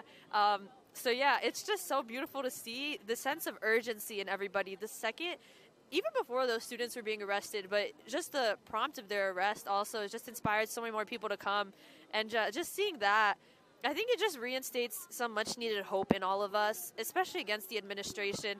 It really is true that the people united will never be defeated, and we see that right now. No scare tactics, nothing is taking the people away from here. So that has been really awesome. Yeah. And what brought what brought you out here? Yeah, I think just the same thing. The fact that we all feel so passionately about this, and you know, I truly feel like we're going to reach our goals because there's no way that we can't. You can't say no to this amount of strength, this many people, this much resilience. So um, it's just our duty to be here. We can, so we should be. There's really no excuse not to be. I've been on every social media. Like, if your ass isn't here, where the fuck are you? Like, where the fuck are you if you're not here? You know, like where the fuck are you if you're not here? It doesn't make any sense. Like everybody should be here. There's no reason not to be. It's the least we can do for our brothers and sisters. Everything that's going on in Palestine, this is the least we can do. We have food, water, we have everything we need here. This is comfortable, you know, and for what they're going through, Columbia needs to divest. It's not fair. It it needs to happen. There's just there's no excuses. These things need to happen, so we have to be here. That's it. Yeah. Yeah, thank, you so much. For the record, it's pretty cold out here, but you know that is the spirit of the people here. That there is nothing, there is no repression, there is no weather condition, there is no level of hunger or thirst that they could endure that would stop them, and that things things are way way worse in Gaza. Um, so for those who are joining us right now, uh, we're at the encampment. We're at the Columbia University encampment. Uh, some of you Breakthrough News fans, I'm sure you're all you're all following the news closely. That uh, uh, Israel has just bombed Iran. Uh, they've bombed apparently uh, a military base or uh, a town near Iran's nuclear facility, but Iran has already pledged to retaliate in self-defense. They they've said that they would they would respond immediately. So you know, uh, that has already been brought up at the rally here, uh, and there's a sort of escalated level feeling of, of tension right now. Um, and obviously, things really could not be tenser, and this could seriously set off a chain of, of retaliations that leads to to a, a regional war. And of course, you know that's that's what Israel wants. So we're following that too. Don't worry. And and you know as we see things roll in, we'll we'll let you know on the live stream. But again, we're here at the second Columbia encampment. The first one, uh, if you've been following, was uh, destroyed. It was the the the protesters were were uh, arrested by the NYPD, and uh, students have basically formed their second encampment. I think we have another interview here. Yes, we are. yes, put you on the spot.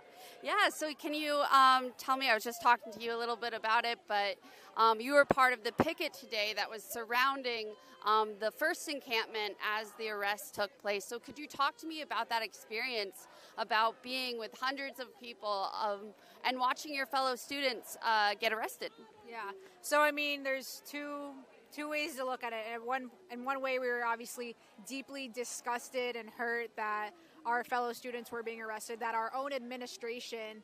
Um, first of all, goes in front of Congress yesterday, throws uh, all of us under the bus, bragging about their suspension and um, like mistreatment of pro-Palestinian students, and then they come here and they send the NYPD in on their own students. I mean, it's deeply disgusting, but it, at the same time, it was beautiful that there were so many students who come from all kinds of diverse backgrounds. You look in the crowd, everyone looks different. Everyone was locked arms, and we were moving around and chanting. I mean, felt kind of hopeless in that or helpless in that moment, but at the same time, we know that our strength comes in numbers and that we protect us and we keep us safe. So we're just trying to focus on that. And clearly, uh, the, they might have arrested a few of us, but most of them are back out, and uh, people are here. So. Yeah, yeah, and that that repression. I mean, seeing what is it? Um, we saw today too that the president um, emailed students as well, uh, and also using the pretext of graduation as a means to and safety, of course, for clearing out um, the protests. But could you talk to me a little bit more about? What it feels like as a student here to have that response from your administration, um, especially as she testifies in front of Congress, as you already said as well. Mm-hmm. Yeah, I mean, they say they're trying to do this to keep us safe, but who are they really keeping safe? Who are they prioritizing keeping safe? Because calling in the NYPD on your uh, students, who the group is mostly, you know, black and brown students, I don't think that's the best way to handle safety. You know, if a student's breaking your school rules, you're calling in the cops. It just, it really doesn't make sense. And we understand that. Um, you know, pressure's on her from all kinds of people, and that's why she is escalating her violence towards students. But it's really disgusting, and I really wonder how she. I mean, with all due respect, how is she going to bed at night knowing she's inciting violence on her own students? It's honestly pathetic. And this repression, these threats from both the NYPD and as well as uh, the school administration, I mean, those have been pretty. I mean, we're surrounded by drones as well. Um, but could you talk about the feeling of being here tonight and you know the response of students who are in the face of this repression um, coming out tonight and and staying strong?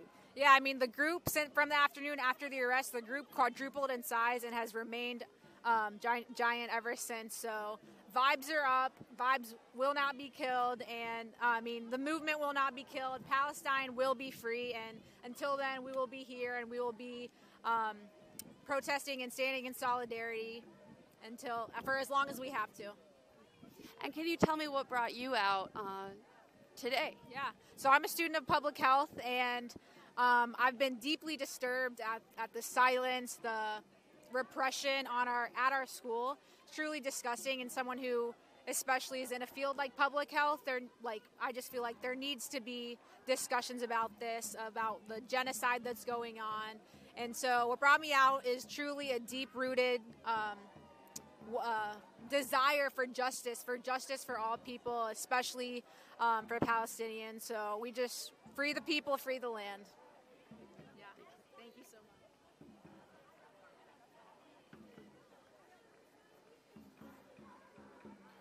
So we're just continuing on here, and you know that student said that the numbers have quadrupled, and that is hundred percent true. Uh, the repression has only has only increased the turnout, and I think it's increased the frustration with uh, the school administration that Minouche Shafik has broken. Uh, what is it? I I math on the fly. What over 50 years of precedent of not allowing the NYPD on campus. She has broken with that and ordered the arrest, authorized the arrest of her own students. And, you know, it's all because, it's obviously because of the pressure that she's been facing uh, with this congressional hearing, getting grilled in the U.S. Congress, uh, being told everything but, you know, fire the professors that support Palestine. So, uh, you know, it's, we're really in unprecedented territory. This is the banner from the first uh, encampment, which I guess was preserved somehow because everything at that encampment was destroyed. There are pictures online. They were throwing uh, students' belongings out. They threw everything out. Um, I saw it. There's a video of it on, on our on our Twitter page. But as you can see with this banner, um, the encampment here is calling on others to join. They're calling on others to join. Um, they've taped some Palestinian flags on the on the ground here, and there's some people rallying, but uh, apparently uh, they have plans to stay here all night. We were told that there are dance teams coming. I'm not sure what that means. I guess we'll figure it out. And they're also going to have movie screenings. Uh, so they're definitely staying here for the long haul. Um, so we're gonna stay. We're gonna stay with this as long as possible. But okay, someone just came up and told me the dance dance teams are happening at midnight. So um, I don't know if that's a Columbia dance team or if it's gonna be, you know, maybe maybe they're hiring people to perform. Who knows? Um, but uh, speaking of which, I think there's a there's a great need right now for warm clothes. Uh, if anyone in the New York City area is watching, um, I believe there was a call put out for like blankets and I think like gloves and, and hats and that sort of thing. So uh, it's incredible the amount of uh, support these students have gotten. They they've been they've been collecting donations for some time and you, you know, you should have seen the, the amount of food at the first encampment. I mean, you know, people kept bringing food just in solidarity, and it was almost like we have no idea what to do with it. And uh, a lot of it was thrown out by, by the NYPD, but we're going to keep going here. Um, I don't know if folks are joining us right now, but uh, this is the second Columbia University encampment for Palestine. It was formed shortly after the first encampment was shut down by the NYPD. And uh, yeah, basically, people took it upon themselves to occupy this lawn. The first encampment was on that lawn, and it was shut down uh, today at around 3 p.m. when the NYPD was let on campus to arrest students, uh, let on campus by Minouche Shafik the university president. And uh, yeah, the students basically just hopped the fence and took this took over this lawn, and they don't seem to want to leave. So uh, we are going to stick with them. We're going to stick with these folks, and you know they look they look pretty happy. I mean, look at this guy. He's just lying down. Uh, looks like he doesn't have a care in the world. Well, I'm okay. I'm sure he cares. He's probably very, uh, you know, concerned with what's happening in Palestine. But people here are very, you know, they're um, they're happy to stay, and you know, we we're not really hearing too many people, uh, uh, you know, talk about going home or anything like that. But. Uh, yeah, there are literally hundreds of people here at Columbia University.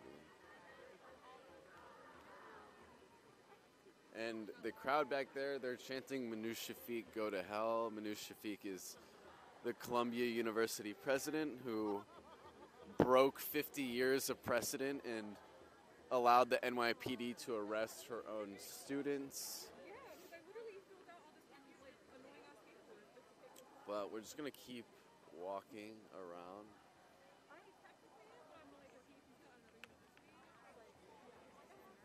This building here is the library. It's really nice. Um, they have some Greek thinkers' names, the uh, Aristotelians written on top. Um, and this campus is totally locked down, by the way. Uh, and you know that was a theme of many of the speeches given earlier. Is just the sorry, I'm just gonna put this on my shirt. That was a big theme of uh, the speech speeches given was how afraid Columbia University is of these students. Um, the fact that they broke with 50 years of precedent, I think, just goes to show that they're really afraid. Minouche Shafik is afraid, obviously. She's, uh, you know, under, uh, she's being, you know, grilled by Congress. So this is the last thing I think they wanted was for the encampment to, to quadruple in size. But uh, we're gonna stay here with the encampment. I think uh, Emily, our producer, is just uh, talking to some students about doing interviews. But it's it's been it's been it's been really crazy. Um, I I actually I I was in a Students for Justice in Palestine in college, and uh, you know I, I've been talking to people who are SJP alum, and I think anyone who was involved in the movement, like before, not just before October 7th, but even you know before 2020, before 2021. I mean, the way young people, especially, understand the issue of Palestine is so different, and to see something like this happen, like you know, uh, it feels like my experience five years ago was just so was another world, um, and it just goes to show how quickly things can change.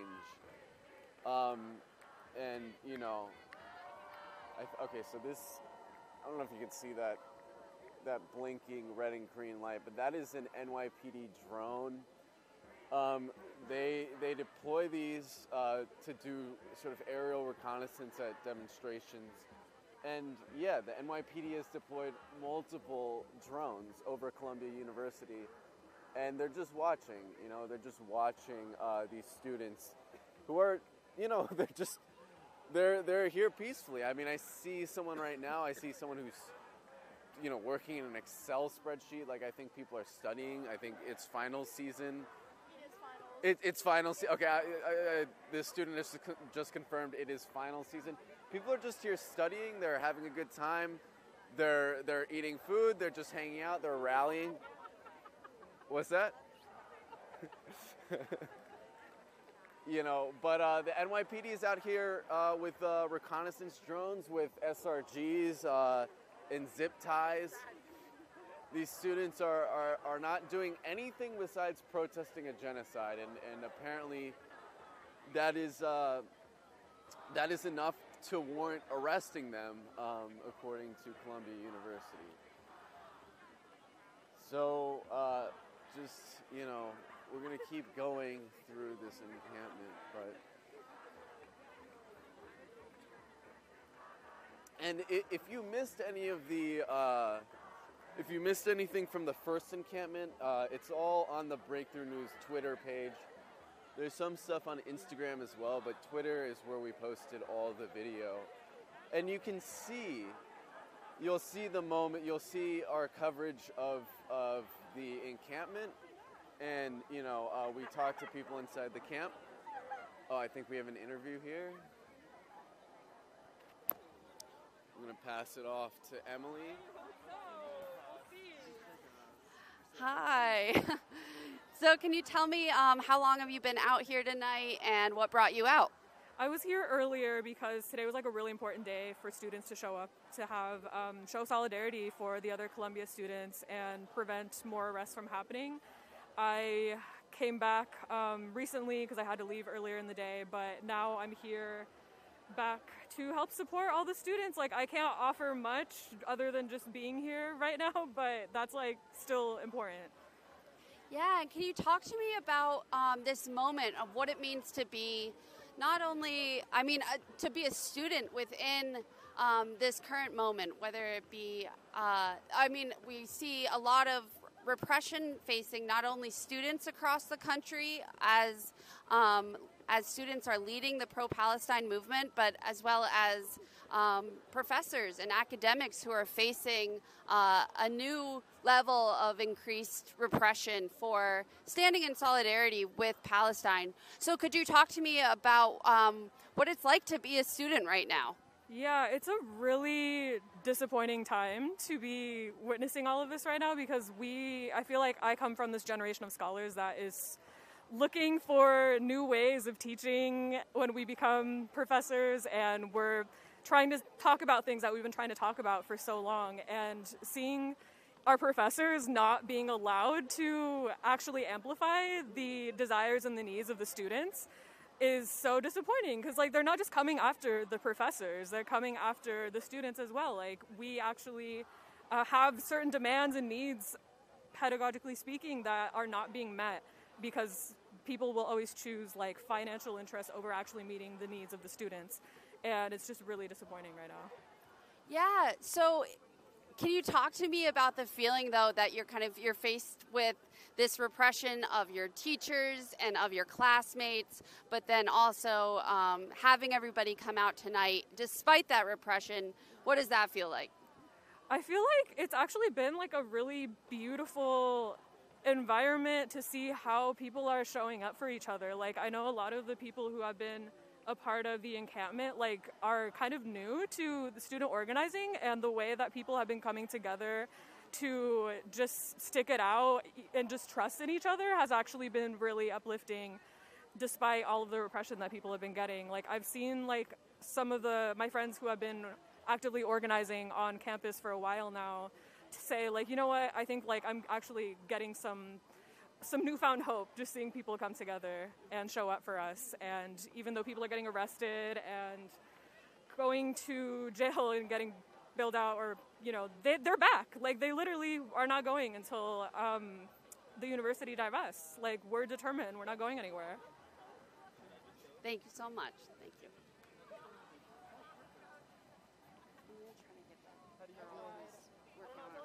Okay. Yeah, yeah, yeah, yeah, yeah. Yeah, we're gonna try to get the girl working on her finals. I want to know what she's studying. Oh, sorry. Um, so we're just gonna keep going here, but uh, I am I am curious. You know, I wonder if people are going to go to their finals or go to the encampment. I, I, we don't know. We don't know. You know, this might drag into graduation. So, um, if only. If if only. If only.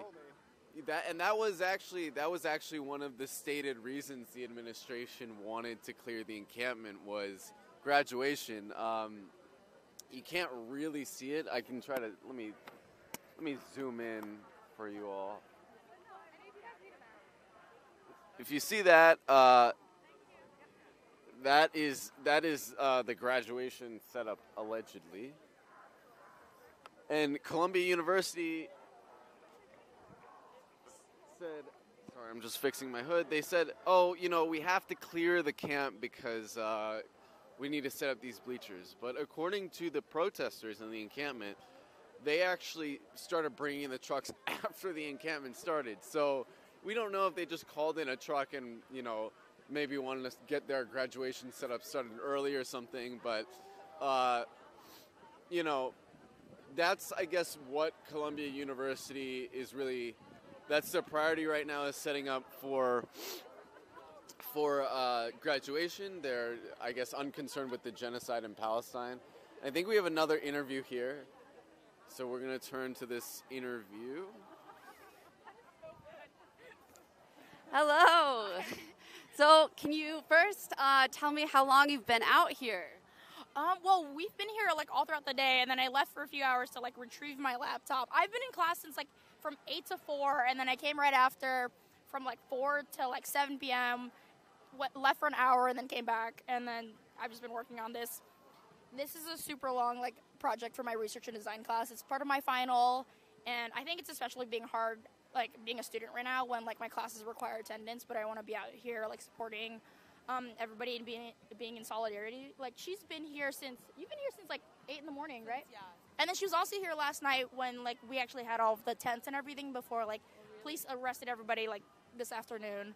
Um, yeah, I think it's especially difficult since um, we are like public health students and we know how difficult it is to um, come from a perspective where you know we try to protect people, try to like um, try to protect like health, and we really like want to influence um, like a generation for change. And it's it's hard seeing how the university is not seeing a, like our perspective, and they refuse to divest and um, defund everything that's going on, like with Palestine, um, with Israel, and not supporting like Palestine's um, stance on this. I think it's it's just so hard.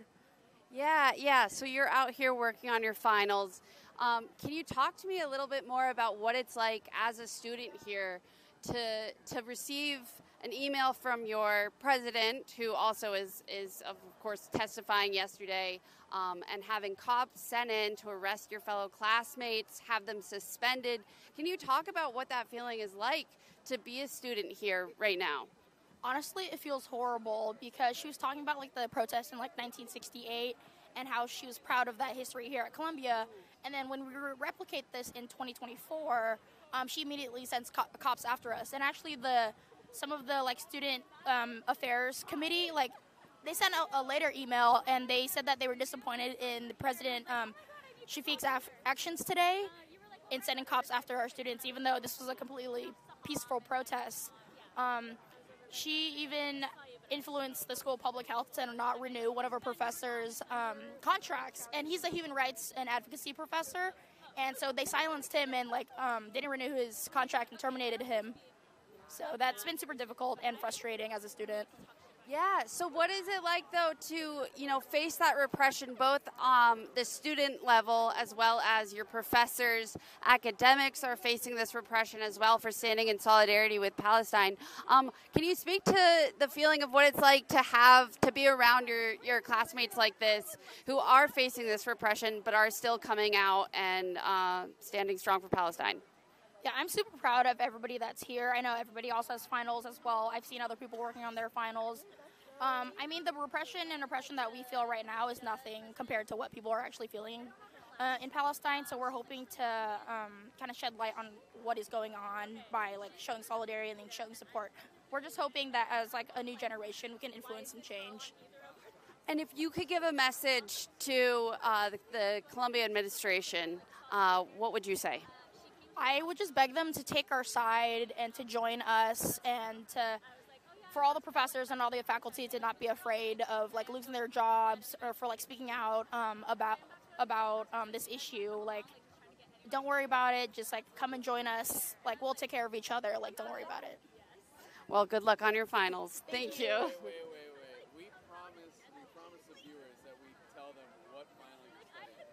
Um, it's for research, design, and data collection. So this is kind of like implementation science in a way.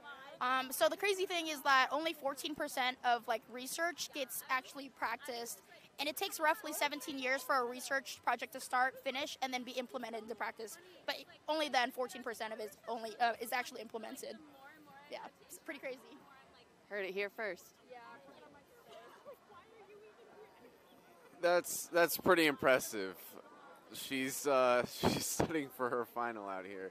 So you know, again, I mean, if that doesn't speak to the dedication of uh, people here, they they'd rather they'd rather uh, study out in the, the cold on the, the front lawn of their campus uh, than miss this historic moment. Um, all right, looks like they're making an announcement.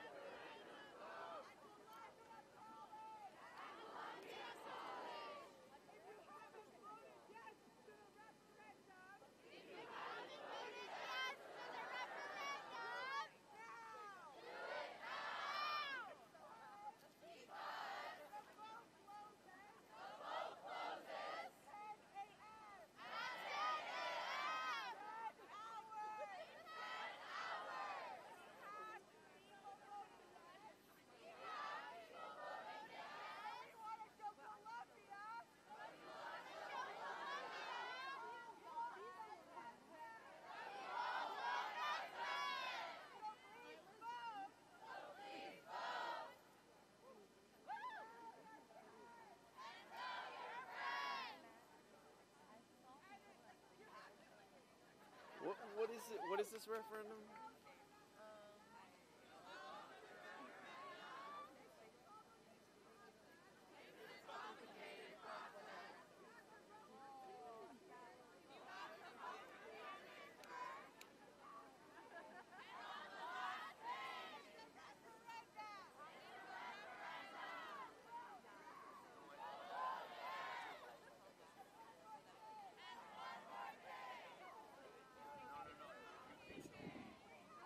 Do you do you know what the referendum is for? Do you know what this referendum is for? That they're talking about? They're CUNY. Yeah, I'm not. Oh, they're CUNY students. No, no, yeah, yeah, CUNY. Oh, you're. Oh shit. Sorry.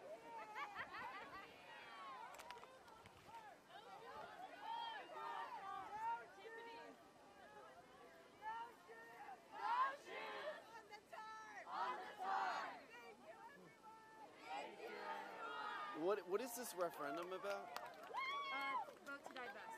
Vote to divest. Oh, from from Israel. Israel, yeah. Tomorrow? It's It closes tomorrow at it 10? closes tomorrow at 10. Wow. Okay. It's been in effect for a bit. Okay.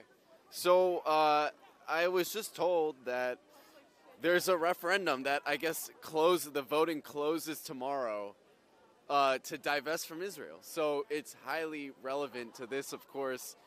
Um, and they just they just called on everyone to vote yes on the referendum. Um, Now, I think a big question will be how will the university respond? Because uh, if I was a if I was a betting man, I would say that all of the tension right now around the issue of Palestine, I, I think a lot. I think the voter turnout will be high, and I think uh, given what's happening right now and the genocide, um, I imagine the referendum will pass. So uh, we'll we'll let you know what the result of the referendum is, but this could also add a tremendous amount of pressure on Minouche Shafik, the Columbia University president. But anyway, we're going to continue going through uh, the Columbia University encampment number two.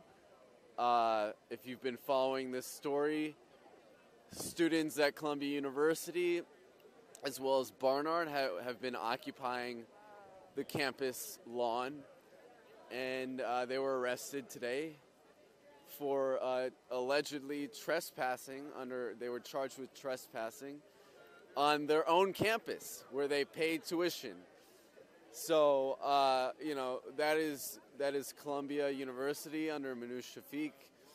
Uh, she violated a 50 year precedent of the NYPD not being allowed on campus to arrest people who are protesting a genocide. And uh, of course, she's been, you know, being grilled in Congress for uh, allegedly fostering uh, an anti Semitic environment at Columbia University, which uh, really just means anti Zionist uh, she allows she was allowing you know anti-Zionist activities to happen, which is not even really true because she was repressing it. But this encampment formed in solidarity with uh, the first encampment, which was shut down. Uh, so we're just gonna keep going through the crowd here. I think the rally, the rally portion has ended, and um, the students are pledging to. Um, Hey.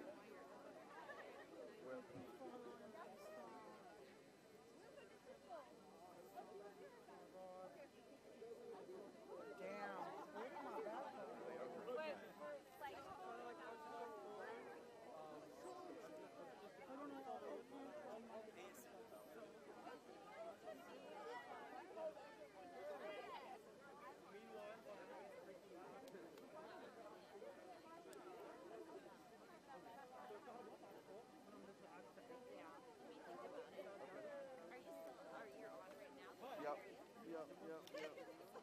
No, you're good.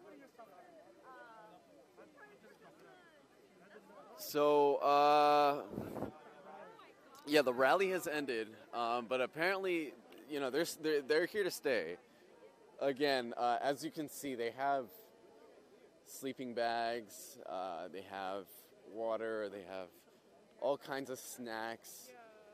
You know, they don't. They're, they're not gonna leave. Um, they're apparently having a movie screening. I don't know what movie they're screening, but they're here for the long run. And uh, there's the NYPD is apparently they they pulled up with some large arrest buses on the outside, but they haven't entered the campus since uh, 3 p.m. today when they arrested the the students initially. So. Um, we'll see what happens with this encampment. They haven't set up tents, and I, I, I've heard that. Sorry, I'm switching hands here. I've heard that uh, the school is like not wanting to, I think, arrest 200 people right now, 200 students. So they've said as long as you don't set up tents, we'll sort of allow it. But again, you know, with finals coming up, or not finals, with graduation coming up, it'll be a big question whether or not they let, um, whether they let this encampment continue. It'll be a big question. It'll be a big question whether or not they let this uh, encampment continue. But obviously, things could not be more tense on campus right now. Uh, we just heard an announcement that there's going to be a referendum uh, for uh, divestment from Israeli apartheid and Israeli genocide. Uh, one big update. One big update is that the students actually won a huge victory, which is that apparently the university has agreed to disclose what's in its endowment. And the Columbia University endowment as you can imagine it being you know the Ivy League being the Ivy League school that it is is I think it's 14 billion dollars like it's huge it's one of the biggest endowments in of all universities and uh, obviously you know there are probably a few billion dollars invested in in Israel. So, uh, you know, universities tend to be incredibly cagey around that information.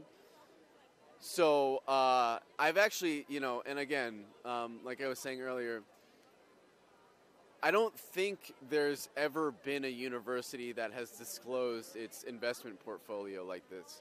So, if it's true, and you know, I'm I haven't like confirmed it or anything, but if what the students are telling us is true, that they're releasing their investment portfolio, that would be a sort of uh, unprecedented thing that's happening. And there have been many precedents set in Palestine student organizing recently. Uh, if you, you know, if you're a Breakthrough News watcher, you saw that uh, Pitzer College, Pitzer College in California, recently ended their study abroad in Tel Aviv. They had a, a study of abroad program in Israel, and they ended it after a years long campaign uh, from the Students for Justice in Palestine there. So, um, you know, there seems to be a lot happening on the front of student organizing for Palestine. We're getting some waves here, kisses for the live stream. Um, but yeah, we, we continue on. Um, and we have some banners here from the Teachers College. So, you know, everyone's everyone's out here. Everyone's out here. I'll read some of these banners to you. Uh, this says Columbia out of uh, Harlem. Um, we're in Harlem right now. Columbia's in Harlem, and Columbia is one of the biggest uh, landholders in New York City. And in the first speech, there was uh, there was a resident who's lived in in Harlem for for decades, and he was talking about how you know his neighbors, many of his neighbors, have been uh, pushed out by Columbia because obviously, you know, when a big fancy university comes in, they bring you know students with money and they spend that money and and uh, the vendors in the area raise their prices, and there becomes a you know a disparity of income, and that uh, forces the people who used to live in, in that, that area to, to have to leave. Uh, you know, and this is what we call gentrification. And Columbia has been a huge sort of, uh, you know, source of that gentrification. Uh, and you know, it's it swallows up land. It's it buys a ton of land in Harlem, and that causes real estate prices to rise as well. So you know, uh, that's another thing that students here have been fighting is the way Columbia contributes to gentrification in Harlem. But I think we have another interview here. Yeah. Um, can you tell me uh, what brought you out here tonight? Yeah, so um, I'm out here tonight in solidarity with the Gaza Solidarity Encampment. Um, this morning, the NYPD arrested over 100 organizers, not knowing that over a thousand more students, um, activists, organizers would come to take their place because we all recognize that this is a historic moment. We're building off of the legacy of 1968, where students here at Columbia came out um, to protest this fascist institution and its ties with corporations displacing people from Harlem and also Columbia's relationship to, um, you know, the, the war in Vietnam. And so we're building off of this legacy of um, anti-war activism, of student activism. We know that it's always been the students who have actually made real change. Um, I'm actually also an alum of Columbia of CASA 2020 and a former member of uh, Students for Justice in Palestine. When I was here, we um, actually passed the BDS referendum a couple times, but the university shot it down every time that we passed it. And um, it's really amazing to see, you know, this moment, especially because of the genocide in Gaza, because of the mass movement that we've seen across the United States, across Canada, across the world um, for Palestine, that this moment has really, you know, ignited a flame in everyone's um, hearts and in their spirits to really stand our ground and say that we will not stop until we get our demands met. The students are demanding that Columbia divests entirely from all the corporations that um, they're invested in um, in the Zionist apartheid state. And um, on top of that, they're building off of demands of the movement, the movement for Palestine, which is calling for an immediate ceasefire, lifting of the siege on Gaza, the release of all Palestinian political prisoners, an end to the occupation from the river to the sea, and an end to all U.S. aid to Israel. So um, it really is, I can't overstate how much of a historic moment it is. Um, we're, we're out here, we've been out here for over a day now. This is the second day. And, you know, hopefully we'll stay out here for as long as we can until our demands are all met. Yeah, can you talk about that feeling of what it's been like to see so many people come through, even after the repression that we saw um, this morning, where over 100 students were arrested, after the president of the university had cops come into uh, the university the first time since 1968, as you mentioned before. So, what has that been like to see so many people come out after um, so many arrests this morning?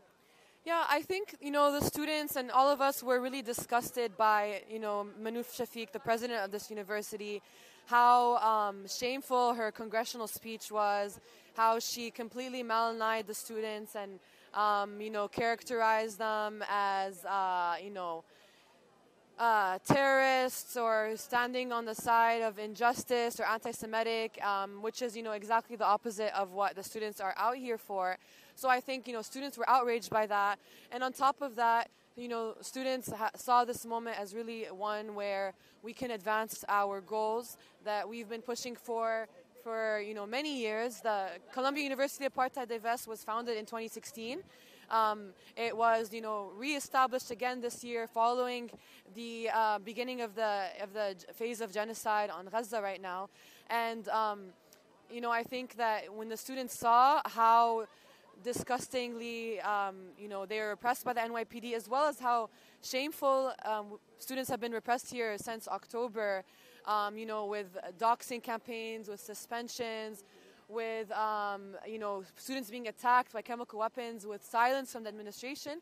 It's just been building off of all of that, um, all of that resentment towards administration and, and around how they really do not care about their students. They do not care about the majority of their students because it's clear that the majority of the students stand with this movement.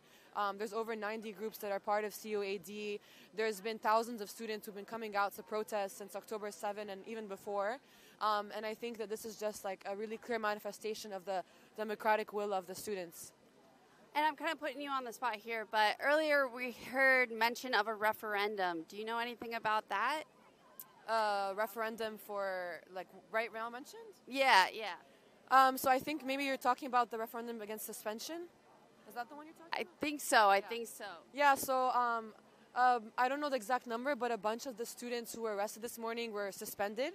They found out they were suspended as soon as they got out of jail. Some of them found out they were suspended right before they were arrested via email, and um, also um, potentially being evicted. We know that there um, just last week there were six students, um, Palestinian, Arab, and Jewish students, who were arbitrarily suspended, evicted, um, banned from campus. You know that means that they don't have access to their housing, they don't have access to their meal plans, their livelihood, and they're banned from their education. And um, we, the referendum calls on, on everyone to say that we will not accept for this to happen to the many other students who were arrested again, and we demand that the students who were arrested, who were suspended, sorry, um, earlier this week also um, have their suspension revoked um, because it's completely unacceptable, undemocratic, and disgusting.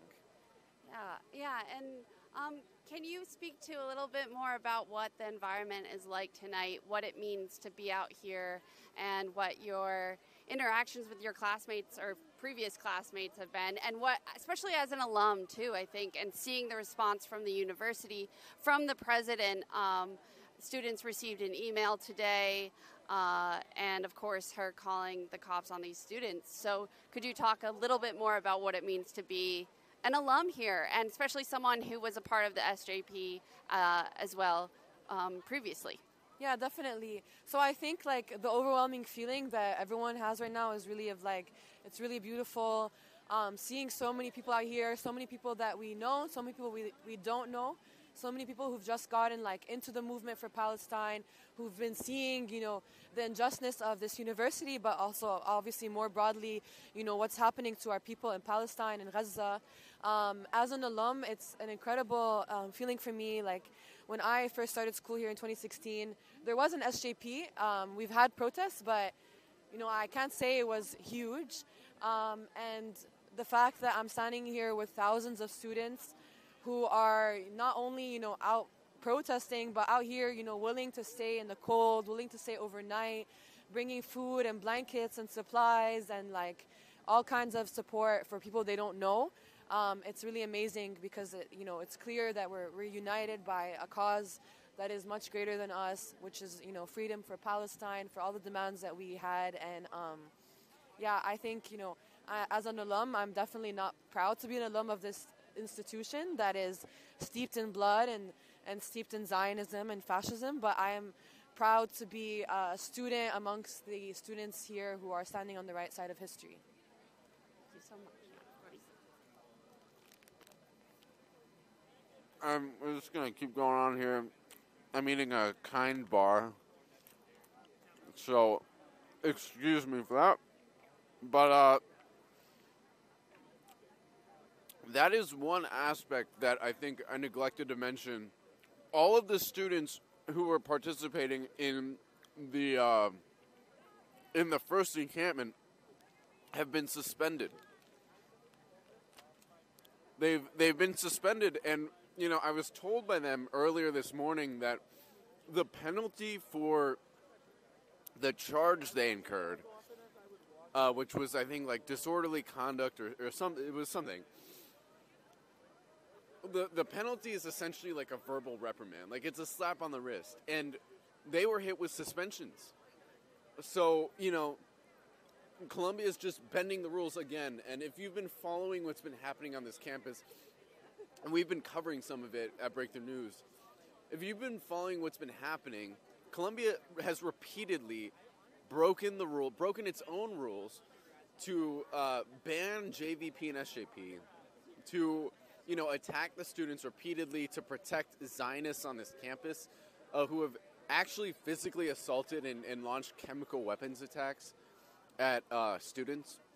So they just keep changing their own rules, and it's clear how afraid they are of of the students here. And you know that's what makes this so amazing. Is I mean, I don't think uh, you know a student body could face anything more repressive than the threat of uh, suspension.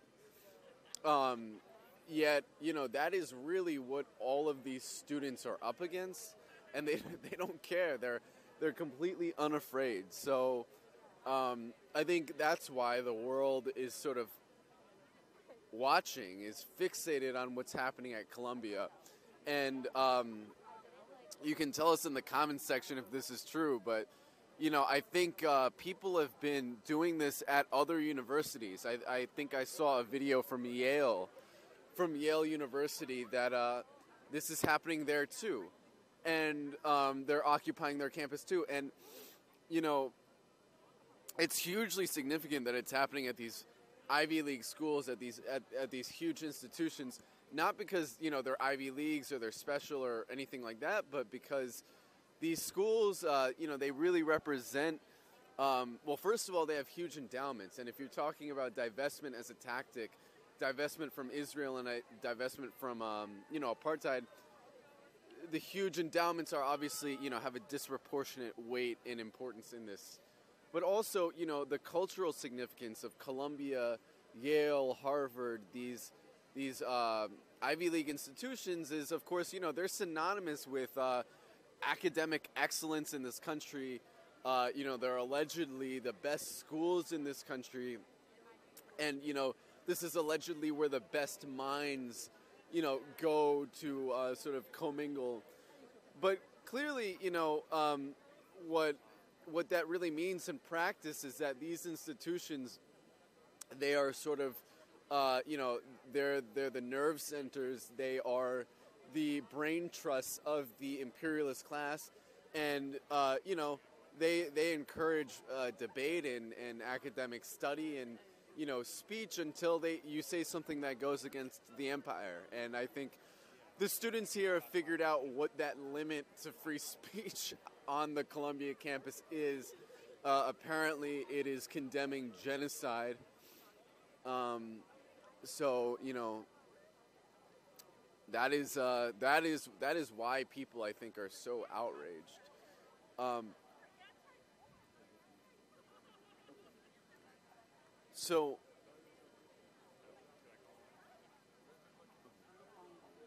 Okay, cool. Um, so I think we're gonna wrap our stream soon. We're gonna stay with the we're gonna stay with the Columbia encampment. Um, we're gonna keep co- uh, covering the Columbia encampment, but uh, we're gonna, yeah, we're gonna wrap for tonight. Uh, just uh, for for stamina reasons, and you know we got to charge our batteries and stuff. But uh, thank you so much for everyone who's been watching tonight, and you know I'll just make another pitch.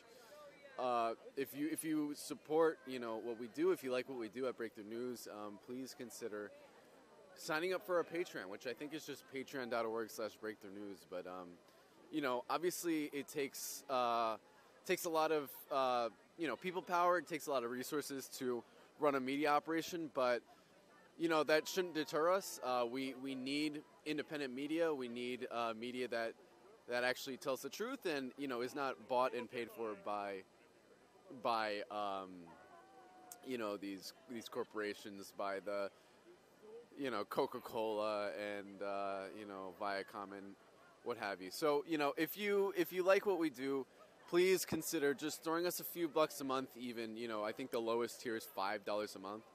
So um, you know, if you're willing to just forego that cup of coffee, maybe you know one cup of coffee a month, it would really it would really go a long way for us. So again we really appreciate everyone who's tuned in. We're going to keep covering the Columbia University uh, encampment for Gaza, for Palestine. But with that, I'm going to sign up. Uh, oh, the, okay, so we're, we're signing off here. But thank you, everyone, so much for, for watching.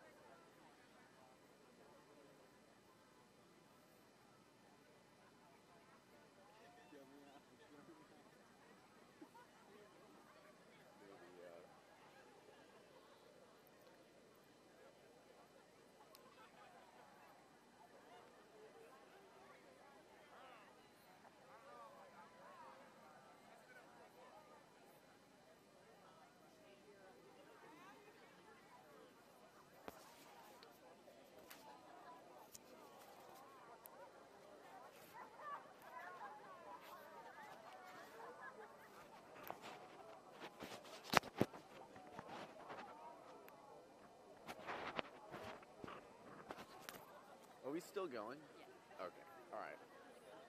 I think we're trying to end the stream right now, but uh, look, we're never we're never going to stop covering this. This we're gonna we we we may graduate with we may graduate with the Columbia University encampment. So just stay tuned.